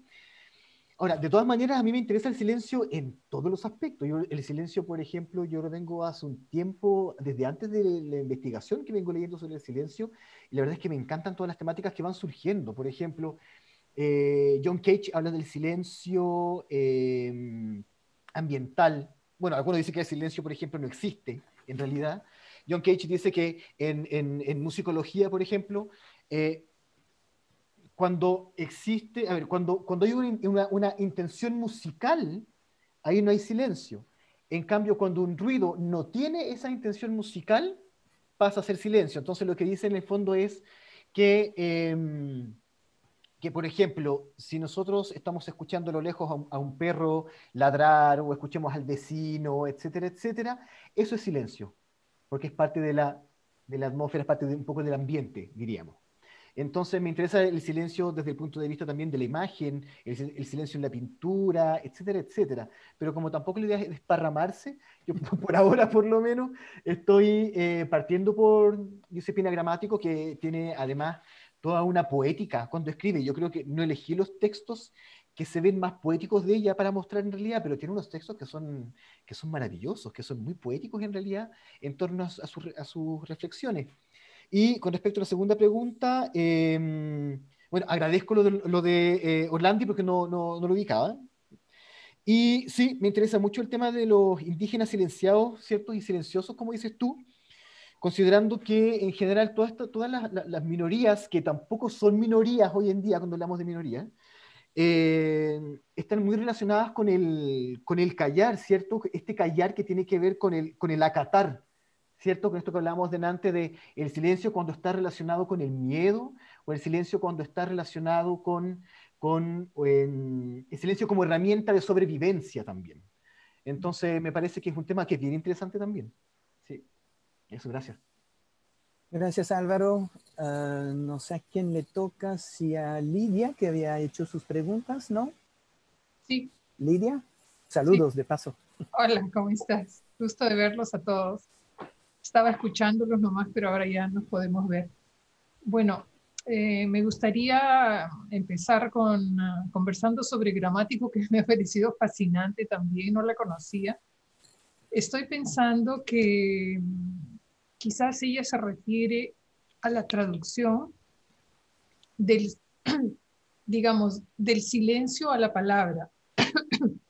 Eh, por ejemplo, siendo ella escritora o poeta, o cualquier persona que trabaja con la palabra sabe que primero tienes algo en tu mente, en tu cerebro, en algún, o sea, no lo has exteriorizado, es decir, está eso en silencio dentro de ti y lo tienes que poner en palabras o en dibujos o en líneas o en música o en algo, o sea, hay un trabajo de vertir tu pensamiento a, otro medio.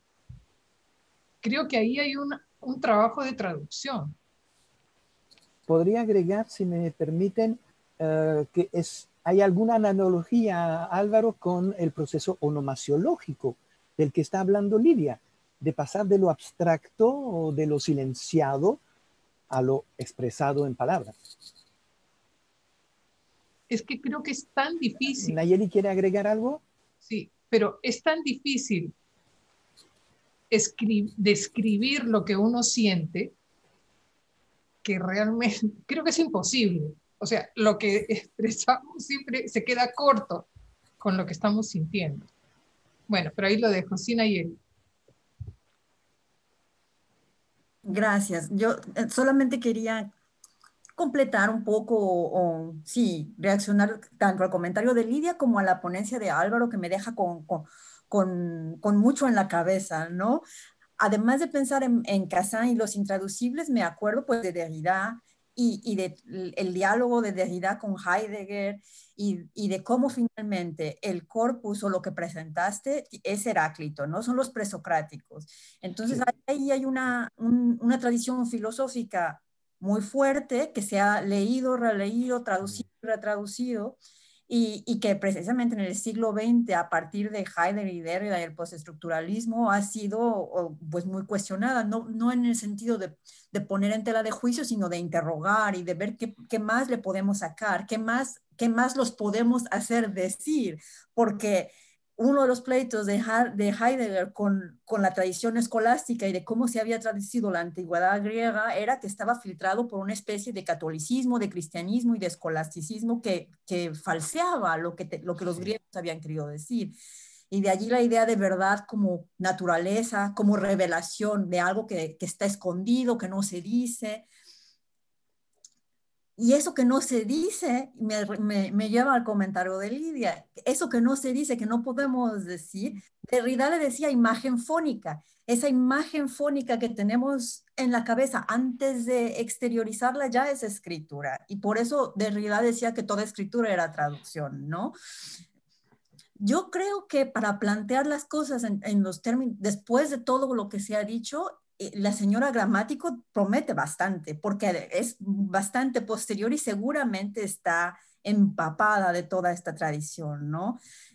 Me parece fascinante, me parece muy, muy prometedor. Felicidades por el, por el proyecto. Muchas gracias. Muchas gracias. Sí, bueno, gracias a, la, las dos. Eh,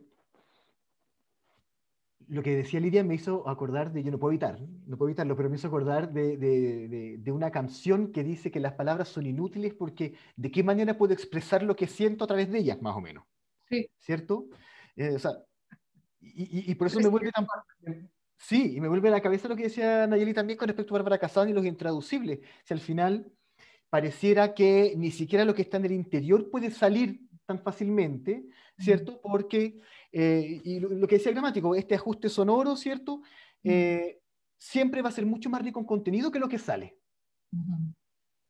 Eh, y, y, es bien interesante lo que tiene que ver con lo que está en los pensamientos, con lo que está en el ser, ya que el gramático tiende a hablar del, del, del ser, el logos, o tiende a, a, a, hacer como, convierte un poco al, al, logos como sinónimo de ser también. Entonces, ahí entraríamos en lo que es el ser, el no ser, ¿cierto?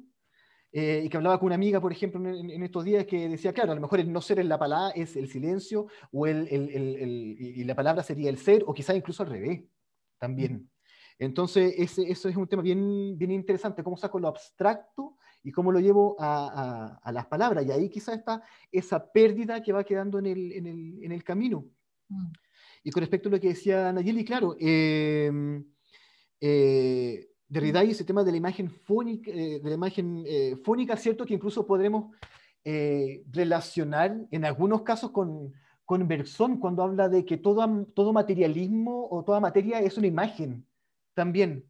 Entonces, desde, desde, ese punto de vista tendríamos entonces una imagen silente y una, más, y una, y una imagen que es verbal, ¿cierto? Y que también está un poco, y que son cosas que también tengo que revisar en, el, en, el, en la investigación.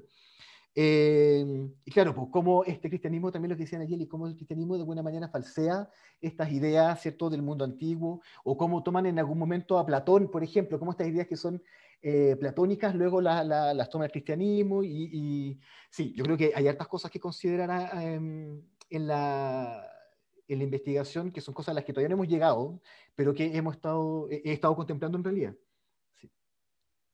Gracias por la, por la pregunta, están súper interesantes, sí. Ahora, gracias, Álvaro. Eh, Claudia pide la palabra, pero Lidia primero. Bueno, gracias. No sé cómo pedir la palabra porque no tengo aquí la manito para levantar, pero bueno. Levántala en la pantalla. Ah, ya, este, sí, quería un último comentario, Álvaro. Eh, mira los problemas que tenemos para expresar lo que queremos expresar. Y cómo ¿Qué sucede cuando no queremos expresar? O sea, hay otro tipo de silencio. Un, hay un, hay un silencio impuesto por tu esfuerzo de, de, expresarte, o sea, nunca vas a llegar a expresar lo que quieres. Y hay otro que tú mismo te impones, yo no quiero hablar, no quiero decir, no quiero nada. O sea, hay, creo que hay dos tipos de silencio. Sí. Bueno, es muchas veces el silencio negativo, digamos. Sí, porque muchas veces el silencio también nos delata. A veces sí. callamos porque no queremos decir algo y finalmente nos delata. Y, y está esta idea de el silencio otorga también, ¿cierto? Porque finalmente el silencio va a estar expresando siempre. Bueno, Tiene que ver con eso también. También. Y ya, último, nos delata. Hay que tener cuidado con el silencio a veces también. Claro. Última, última intervención. Quería comentarle a, a Marta este asunto del contexto que falta generalmente cuando los europeos leen América desde Europa sin haber venido acá, como esta persona que puede, por una escritura falsa o falseada, entiende que en Brasil hay guanacos. Por favor, los guanacos viven en la puna. O sea, ¿a quién se le va a ocurrir que hay un en Brasil? Es imposible. O sea, no hay contexto, pero tapires sí obviamente hay. Entonces, por eso en, en, Europa circulaban las ideas de que en América habían hombres con, un, con tres cabezas, con cinco brazos, etcétera, etcétera, ¿no? O sea, mira, mira la, el peso que tiene el, el, contexto en los, en los escritos del siglo XVI. Es tremendo. Sí, eh, gracias Lidia. Sí, claro, además del, del, de la carencia, podríamos decir, fonológica, ¿no? Para escuchar el sonido correcto, que yo creo que a todos nos, ha pasado con una lengua muy extraña, eh, que, que, en un principio es como, un, un, como, como si fuera una bola negra en, en, los oídos, que uno no logra diferenciar y distinguir ningún sonido. Cuando no conocemos una lengua, yo creo que eso les, evidentemente les sucedía a los europeos aquí y todavía y nos sucede a nosotros, con las lenguas de la gente, de nuestra gente que vive aquí, que las desconocemos. Entonces, eh, además de, ese, de esa carencia fone, fonológica, claro, la carencia de contexto, pero también es porque Nivet sí estuvo aquí, o sea, él sí vio los animales. Él sí. Eso es lo que, lo que parece extra, extraordinario, ¿no? Él sí los vio, él sabía lo que, él sabía lo que vio, lo que él no podía era expresarlo en esa palabra tal vez eh, tupí correcta, correctamente fonológicamente, y también no tuvo, no sé si tuvo acceso después a la reedición del texto, ¿no?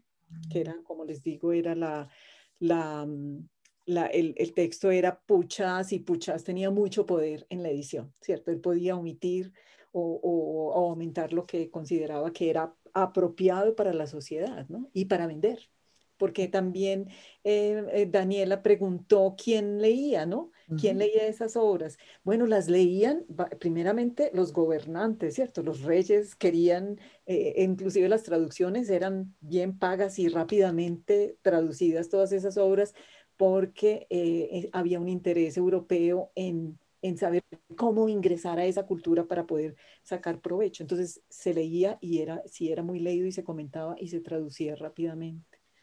Gracias, Lidia y Daniel. Uh, en el orden de las palabras, Cla Claudio, creo, ¿no? ¿No había pedido la palabra? Sí.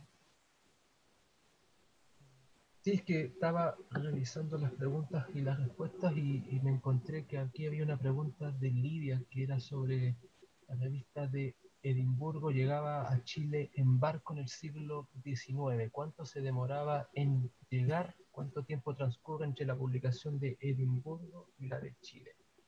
Así que yo ahí voy a responder más, más o menos. Bueno, en los textos, en, en, el, en, el, en el, primero que mencioné, que hablaba sobre el te teatro en Eugenio Script, en el periodo cuando se publica la reseña que fue en mayo de 1832, la traducción en el araucano se publica en noviembre de 1833, o sea, transcurrió un año y seis meses en, en, en ese periodo, mientras que en el texto sobre las traducciones, el, el texto eh, original fue publicado en julio de 1837, mientras que la traducción fue de es publicada en agosto de 1838, o sea, un año y un mes. Mm. Rápido. Ahora, ahora, exactamente yo no sé realmente cómo el, el, no he encontrado el dato sobre el viaje en barco, ¿no? O cómo llegaban esos periódicos. Eso ahí tengo que investigarlo más. Pero, pero cuestión de meses. Es un dato interesante, es un dato muy interesante que, y es bien importante. Ah. Pero al respecto también quería preguntar a Claudio, ¿por qué lo llamas inédito si fue publicado en el Huracano? O sea, yo lo tomé en el, el, el, el, asunto es que como no había firma, ah, o sea, yo, no, yo, yo, yo, lo tomo en el, en, en el base de la... O sea, anónima más bien, entonces. O sea, sí, sí, eso. Yo creo que eso yo creo que es mucho mejor. sí, porque yo dije, si fue publicada, pues... O sea, pero en el tema de como fue, como fue publicado sin firma mm. y tampoco no, y no fue tampoco recopilado ninguna obra completa sobre Andrés de ellos está como está ahí. Entonces yo por eso como que, pero en, en, en realidad no es inédito porque efectivamente sí fue publicado Sí, a pesar de, de, lo largo del viaje entre Europa y, y América, las noticias llegaban bastante rápidamente, bastante rápidamente por los viajeros mismos.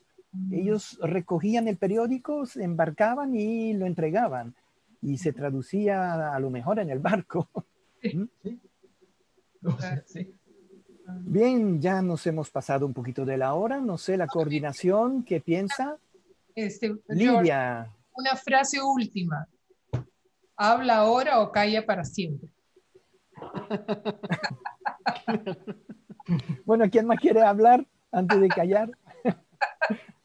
Tiene ah, peligro ahí. peligro por favor. en esa decisión. No, no voy a decir mucho porque han hablado mucho. Ha sido realmente una clase magistral escuchar estas ponencias que han despertado estas, estas preguntas tan interesantes. No, no quiero preguntar nada, nada más. Quiero nada más aportar dos precisiones eh, históricas que han salido, que, han, una ha salido por acá, que es el tema de si el araucano esto es ironía o no ironía. Yo digo que no es para nada irónico. En la primera mitad del siglo XIX, en el imaginario postindependentista de Chile, los araucanos tienen un papel importante.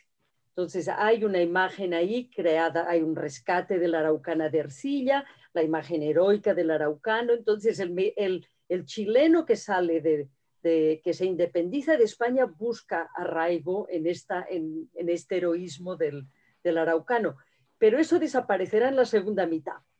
Pero en esta primera mitad, que es donde tenemos también esa cantidad enorme de, revistas, fíjense que está el araucano, el monitor araucano, la aurora araucana, las cartas pehuenches, hay una cantidad de, referencias a lo, araucano y también en la, en, la, en la imaginería, en la escultura, en fin, pero eso desaparece después. Cuando el araucano resulta que es un indio malo en tierras buenas al que hay que sacar de ahí, deja de ser el héroe, digamos, y entonces esto desaparecerá en la segunda mitad. Me parece muy, muy interesante que haya salido este tema porque permite eh, dar cuenta de eso que estábamos diciendo, eh, cómo se resignifican en los tiempos, lo que estábamos viendo, las preguntas sobre la Malinche, etcétera. No es la misma Malinche en el 18, en el 19, etcétera, ¿no? Entonces también estas, cómo las traducciones inciden en la resignificación o en la continuidad de determinados imaginarios. Y el otro también de, este misma, de esta misma índole es la referencia que ha hecho Marta a, a Santo Tomás. Mm. Eh, Santo Tomás eh, es una referencia inventada que aparece en toda América. Eh, yo no sé si está por aquí Verónica Murillo y Ana María, que deben haberlo encontrado en los textos novohispanos. También tienes a Santo Tomás como un apóstol que por no sabemos qué viaje extraordinario llegó a América antes que los conquistadores. Entonces, el Santo Tomás va apareciendo como una, es un, mito, un mito que, les permite, a, que permite a los evangelizadores, eh, es un mito muy útil para que permite a los evangelizadores decir que los indígenas de alguna manera son unos cristianos avant la lettre, que no han sido evangelizados y por lo tanto es un malentendido productivo, cosa que también ha salido en estas mesas. Así que bueno, yo estoy tratando de, vincular una cosa con la otra, me parece sumamente interesante. Así que muchísimas gracias y George también, muchísimas gracias por, tu, por, haber sabido ligar todo, todo esto y, echar a andar el, el diálogo. Qué bien. Muchas gracias a todos. Gracias, gracias a todas y todos. Buenas tardes. Gracias, chao. Nos vemos por la tarde. el aviso, hay presentación del libro a cargo de John Milton a las 3, donde vamos a, ver el libro de Annelise Freitas. ¿Se acuerdan de esta colega eh, brasileña que nos presentó desde el baño de su casa haciendo una performance extraordinaria el primer día? Bueno, pues va a presentar su libro. Ahí nos vemos a las 3. Bueno, muchas gracias. chao. Chao, chao. Gracias por todo. Que estén bien. Chao, chao. Chao, chao.